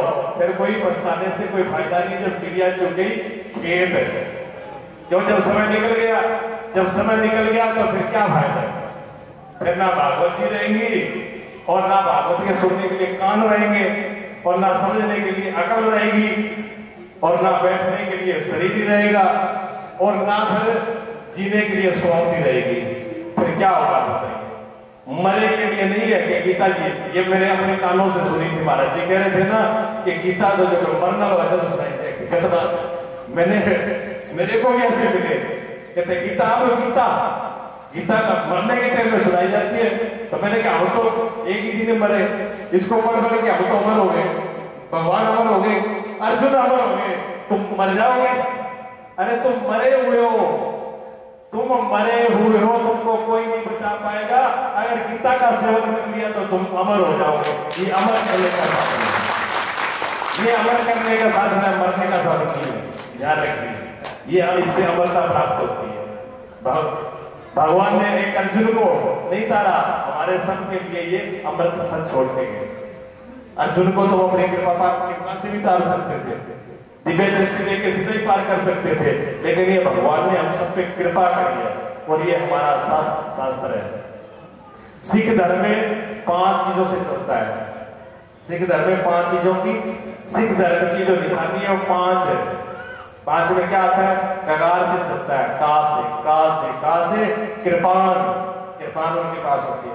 का से कंगा का से केस का से? कड़ा और का से? कच्छा ये चार पाँच जो है, वो चलती है। और अपने सनातनियों, आपको पता होना चाहिए कि आपकी पाँच चीज़ें क्या बताइए। हमारी पाँच चीज़ें क्या है हमारी भी पाँच है। बिल्कुल। और उनका जैसे वो सेवन करते हैं ऐसे आपको भी करना चाहिए। लेकिन हमें पता ही नहीं है कि हमारी पाँच है कौन सी। पाँच है। उनकी का से होती है? आपकी गा से होती है। गा कार से गा अक्षर से पाँच चीज़ें हैं आपकी। थोड़ा थोड़ा आएगा लगा लो साहब थोड़ा सा बुद्धि लगाइए। गा से कहते हैं? गा तो आगी गा तो पक्की है।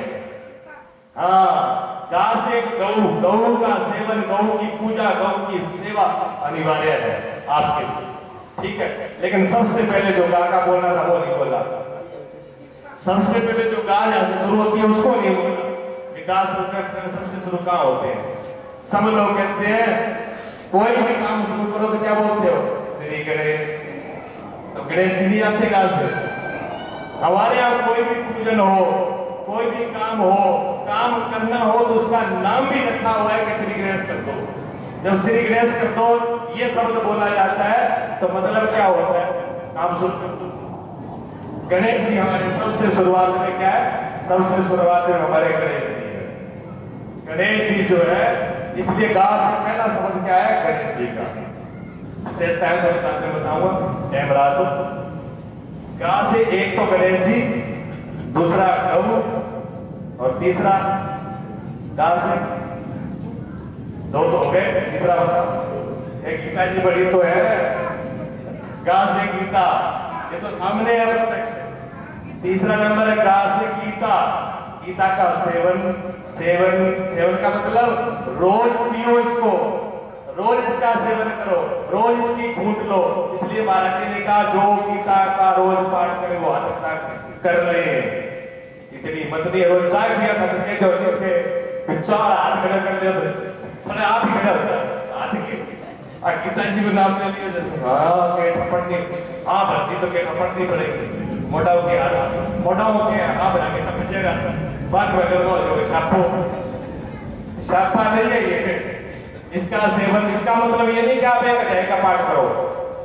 इसका मतलब ये नहीं है कि आप एक अध्याय का पाठ करो। आप इसके एक श्लोक का भी, आपको संस्कृत में श्लोक नहीं आ रहा है, कोई ज़रूरी नहीं है। दवाई चाहे अंग्रेज़ी में लिखी हुई है चाहे हिंदी। में लिखी हुई है, चाहे बागड़ी भाषा में या पंजाबी में। किसी मर्ज़ी भाषा में लिखी हुई है बात दवाई देगे हुआ है बस बात इतनी है। फिर समझ में आ जानी चाहिए जो इसमें दवा लिखी है, वो आप समझ के खा लो। चाहे वो हिंदी में आ रही है तो हिंदी में, संस्कृत में आ रही है, संस्कृत में और किसी भाषा में आ रही है, जिसमें भी आए, आप इसका सेवन कर लो। ठीक है ना? फिर भी कोई श्लोक का अर्थ आपको समझ में नहीं आ रहा तो बता देता हूँ। देखो, हमको आश्रम पे कुछ दो चार माताएँ आ गई। उन्होंने कहा कि स्वामी जी हम गीता सुनना चाहते हैं आप गीता हमको सुना दो। तो मैंने कहा इससे बढ़िया क्या मैं बैठा ही सीख लिया मेरा तो काम यही है कोई आए तो सही इसके लिए। तो कहते जी हमारा टाइम सुबह शाम को होता नहीं है। आप रात को सुनाते हो तो एक, पुरुष लोग आ जाते हैं इनको तो रात को टाइम मिल जाता है हम को आ नहीं सकते। मैंने कहा आप ये बताओ आपको टाइम कब है? उन्होंने कहा हमको टाइम दोपहर को है। अच्छा मैं दोपहर को आराम करता हूँ। क्योंकि रात को जल्दी जगना होता है और दिन में सुबह शाम वैसे टाइम नहीं होता तो घंटा डेढ़ घंटे दो घंटे का रात का वो दोपहर का टाइम होता है उस आश्रम बंद कर देते हैं हम तो मैंने कहा ठीक है हमने अपना आराम छोड़ा दोपहर के दो घंटे आपको तो दोपहर के दो घंटे हमने उनको लिए और डेढ़ महीने से लगातार हमने गीता का उनको सुनाया एक एक श्लोक का अर्थ करके सुनाया बड़ी सरल भाषा में सुनाया ठीक है अभी तक हम पाँच अध्याय तक ही पहुँचे और वो सारे के सारे अध्याय यूट्यूब चैनल पर हमने डलवाए। मेहनत करके भी सबको सरल भाषा में समझ में आ जाए। गीता पढ़ो, श्लोक पढ़ो, अर्थ पढ़ो और उसको साथ में सुनो। वो चैनल को निकाल के ये जो है ना हमें ये बातों करने के लिए, इधर उधर की बात करने के लिए, पीर की बात, शास्त्र शास्त्र, पीर खत्म कर बोलिए कि भगवान ने सुन ले करो बड़े बड़े ग्रंथ सुन ले करो। जिस वैज्ञानिक ने बनाई है, वो पागल नहीं था। उसने बनाई तो अच्छे के लिए थी। इसमें बहुत बढ़िया बढ़िया चीज़ें हैं। चैनल का नाम है श्री महेश मधुसूदन। मेरे नाम से ही और गुरु जी के नाम स्वामी विवेकानंद जी, गुरु जी का नाम। उनके नाम श्री महेश और महेश भगवान शिव का नाम। ठीक है, और उनका आश्रम का नाम। और मधुसूदन जी बोलोगे तो निकल जाएगा। ये जो यहाँ पर चल रहा है, वो भैया बैठा उनका नाम पता नहीं ये भी आपको पूरी करना मिलेगी, बता दिया जाएगा। तो बढ़िया सुना करो, गीता का सेवन करो, ठीक है? थोड़ा थोड़ा करो। देखो, आप कहते हो हमें टाइम नहीं मिलता। अच्छा घर करके तो काम हो है। मैं देखू, घर में हूँ घर में रहता हूँ, मैं देखता रहता हूँ। सुबह उठ करके झाड़ू पोछा करना, रोटी बनानी, भांडा लपेटना, और नमाज़ वाई ठीक कर देना, बस। आठ के बितो काम फिर कर देना सारा समेट समुट के सोनो पूरा ज़ोर लगा के, सारो काम लगा के सोया बिल्कुल तब तो रख दो चपड़ लगा दो पानी पोछा कर दो भांडा मांज के रख दो पर सुबह उठते ही काम कितना ही फिर होता है। काम तो इतना ही होता है भाई खा लो पी लो अच्छा दूध का क्या वो भी खाने पीने का? भोजन का भी खाने पीने का? कोई बर्तन, कोई भांडे, कोई गाड़ी कोई गाड़ी कोई डालते हो बैठ लेते हो। तो क्या काम किया बताओ? काम तो जब हो जब आपने कोई पुरुषार्थ किया हो। कोई ऐसा काम किया हो जिससे आपने दूसरों का भला कर दिया हो। सिर्फ़ एक काम वही है। भगवान ने किताब दिया है कर्म योग के कि काम सिर्फ़ एक ही है। जब आप दूसरों के लिए बिना चाह, बिना इच्छा, बिना अपनी कामना के किए दूसरे का जब भला कर दो समझना कि आज हमने काम किया है। ये तो कुछ नहीं किया था। जैसे पशुओं ने किया, वैसे हमने किया। इतना काम पशुओं ने किया, वही हमने किया। कोई तो पुरुषार्थ हो प्रधानमंत्री है इस देश के, नरेंद्र मोदी जी मन उन्होंने पूरे देश का सब कुछ देखना होता है, पूरे देश को संभालना होता है, लेकिन फिर भी दो सौ लोग रोज़ाना पिताजी के पढ़ते होते हैं। ये नियम है उनकी ज़िंदगी का। और रामायण जी के, रामायण की एक चुकाई से एक चुकाई तक और दो श्लोक गीता के। डेली पढ़ने का नियम है और बीस मिनट योग करना। एक घंटा वो इसके ऊपर लगाते ही लगाते हैं। इतने बड़ा काम होने के बावजूद।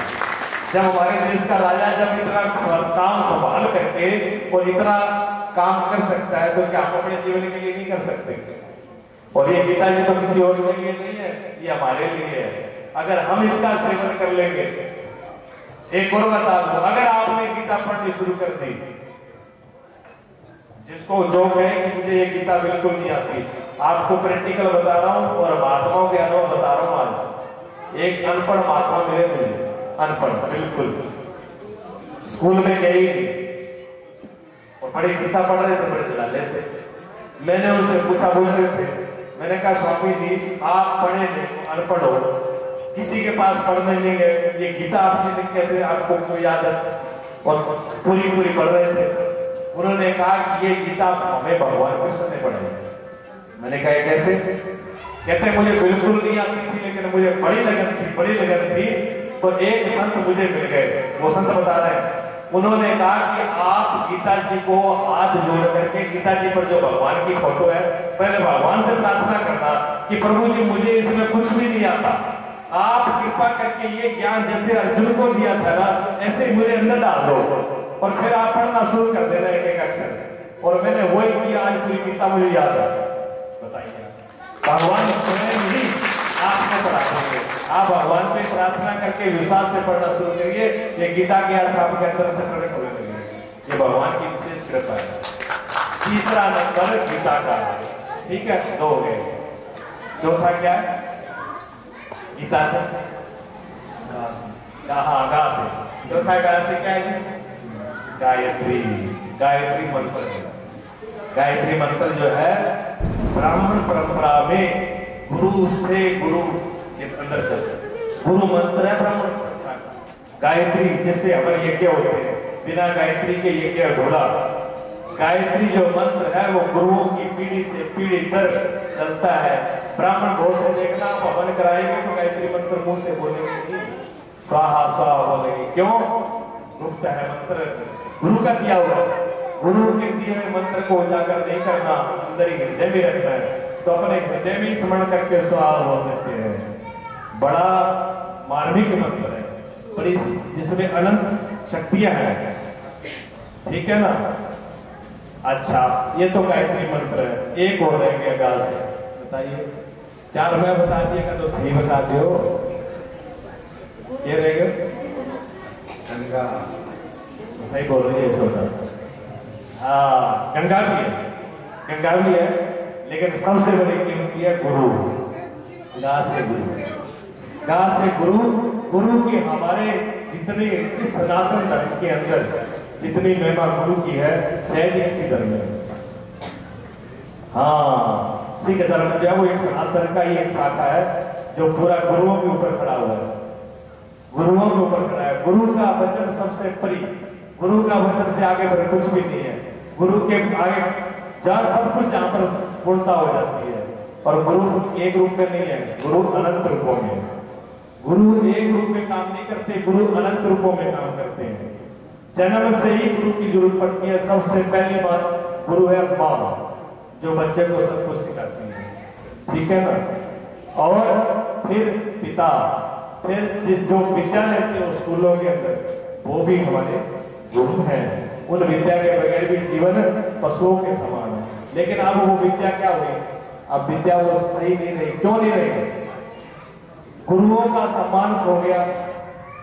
स्कूल के अंदर टीचर का सम्मान बच्चा ये नहीं जानता कि ये मेरे को विद्या देने वाले गुरु है। जब जिसने विद्या दी, जिसने हमें जीना सिखाया, जो हमारी जीविका का प्रबंध कर रहा है, जब उनके प्रति हमारा आदर ही हो गया तो वो विद्या से क्या करेंगे बताओ? उस विद्या से जीवन में इसलिए एम ए बी ए कर लेते हैं पीजी पीएचडी कर लेते हैं, सारी डिग्रियाँ कर लेते हैं, लेकिन धक्के गलियों में खाते हैं। धक्के पे गलियों में खाते हैं और दोष सरकार को देते हैं। सरकार नौकरी नहीं देती किस किसको देगी सरकार? नौकरी सरकार नौकरी बेटे को दे बाप को दे दादे को दे कि माँ को दे कि चाचा को दे कि चाची को दे किस किसको दे। नौकरी। विद्या का मतलब क्या? नौकरी था। ये मूर्खता है। विद्या का मतलब नौकरी नहीं है। विद्या अपने आप में धर्म है। विद्या तो खुद ही धर्म है। विद्या का मतलब है कि वो ताकत आपके पास है कि आप नौकरियों को पैदा कर दो। नौकरी, विद्या का मतलब ये नहीं कि आप हाथ में कटोरा ले लो। विद्या का मतलब ये नहीं कि आप भिखारी बन करके मांगो। कहीं सरकार के आगे भीख मांगने लगो कि कहीं उस घर में मांगो, कभी इस के मांगो। नहीं। विद्या का तो मतलब ये है कि लोग आपको पूछे कि आपकी मुझे ज़रूरत है। आप मेरे पास आइए। विद्या वो? विद्वान की विद्वान को पूजा जाता है। विद्या वाला पूजा जाता है। जब आपके पास विद्या है तो आपको किसी के पीछे जाने की ज़रूरत नहीं है, जिसको ज़रूरत है वो आपके पास आएगा। आपके पास टैलेंट होना चाहिए, आपके पास विद्या का है आपको। पशुओं के पक्षियों के अंदर क्या वो पेट भरने के लिए सीख के आएगी वो भी सब पेट भर के खा सोते। कोई पशु पक्षी भी बिना पेट भरे नहीं सोता। क्या आप बिना पेट भरे सो जाओगे? अगर नहीं पढ़ोगे क्या अनपढ़ आदमी है वो? भूखे सोते? अगर हमने सिर्फ़ पेट भरने के लिए विद्या सीखी तो हमने क्या सीखा? कुछ नहीं सीखा। विद्या का मतलब ही नहीं जाना। सब कुछ जोड़ दिया हमको देखा भीख मांगते। ये चक्का में है ये ट्रेन गड़बड़ है जी मेरे सब विद्वान आदमी सर्वत्र पूछे थे सब जगह पूजा जाता है। विद्या वाला आदमी कहीं भी कमा के खा लेगा। विद्या आदमी कहीं भी खड़ा हो जाएगा वहीं से अपनी रोटी। रोटी? रोटी को उत्पन्न कर लेगा ये विद्या का महत्व है। ये क्या ना? व्यापार करने वाले व्यक्ति, देखा आपने, ज़्यादा पढ़े लिखे लोग हैं, नौकरियों के पीछे भागते नहीं है, लेकिन लाखों को नौकरी दे देते हैं। स्वामी रामदेव है। कौन से सरकार से जाके भीख मांगी? थी इतनी फैक्ट्रियाँ खड़ी कर दी इतने गुरुकुल खड़े कर दिए कई लाख, कई लाखों को नौकरी दे रहे हैं, भोजन दे रहे हैं। बताइए आप। क्या बल है ये? विद्या का ही बल है। ये सब विद्या का बल है। विद्या में इतना बड़ा बल होता है। बोलना?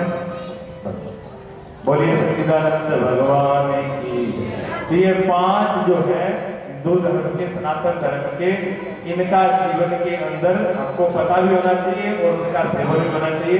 अभी एक भजन बोल रहे उसके बाद में हमारे भैया कुछ बोलेंगे, फिर आरती होगी थी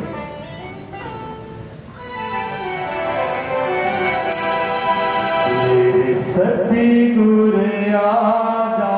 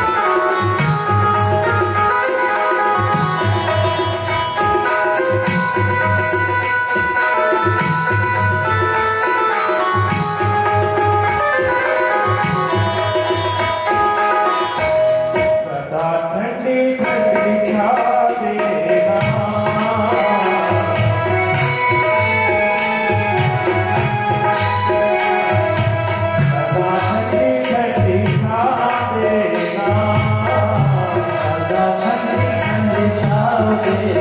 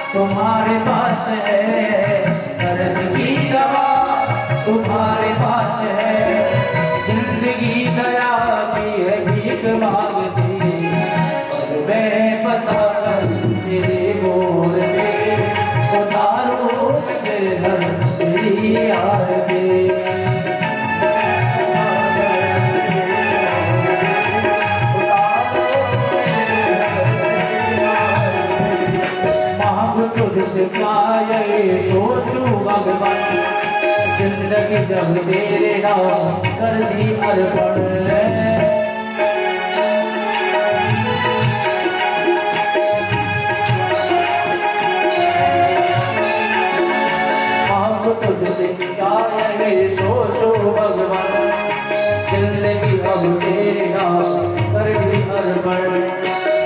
कुछ तेरा, कुछ नहीं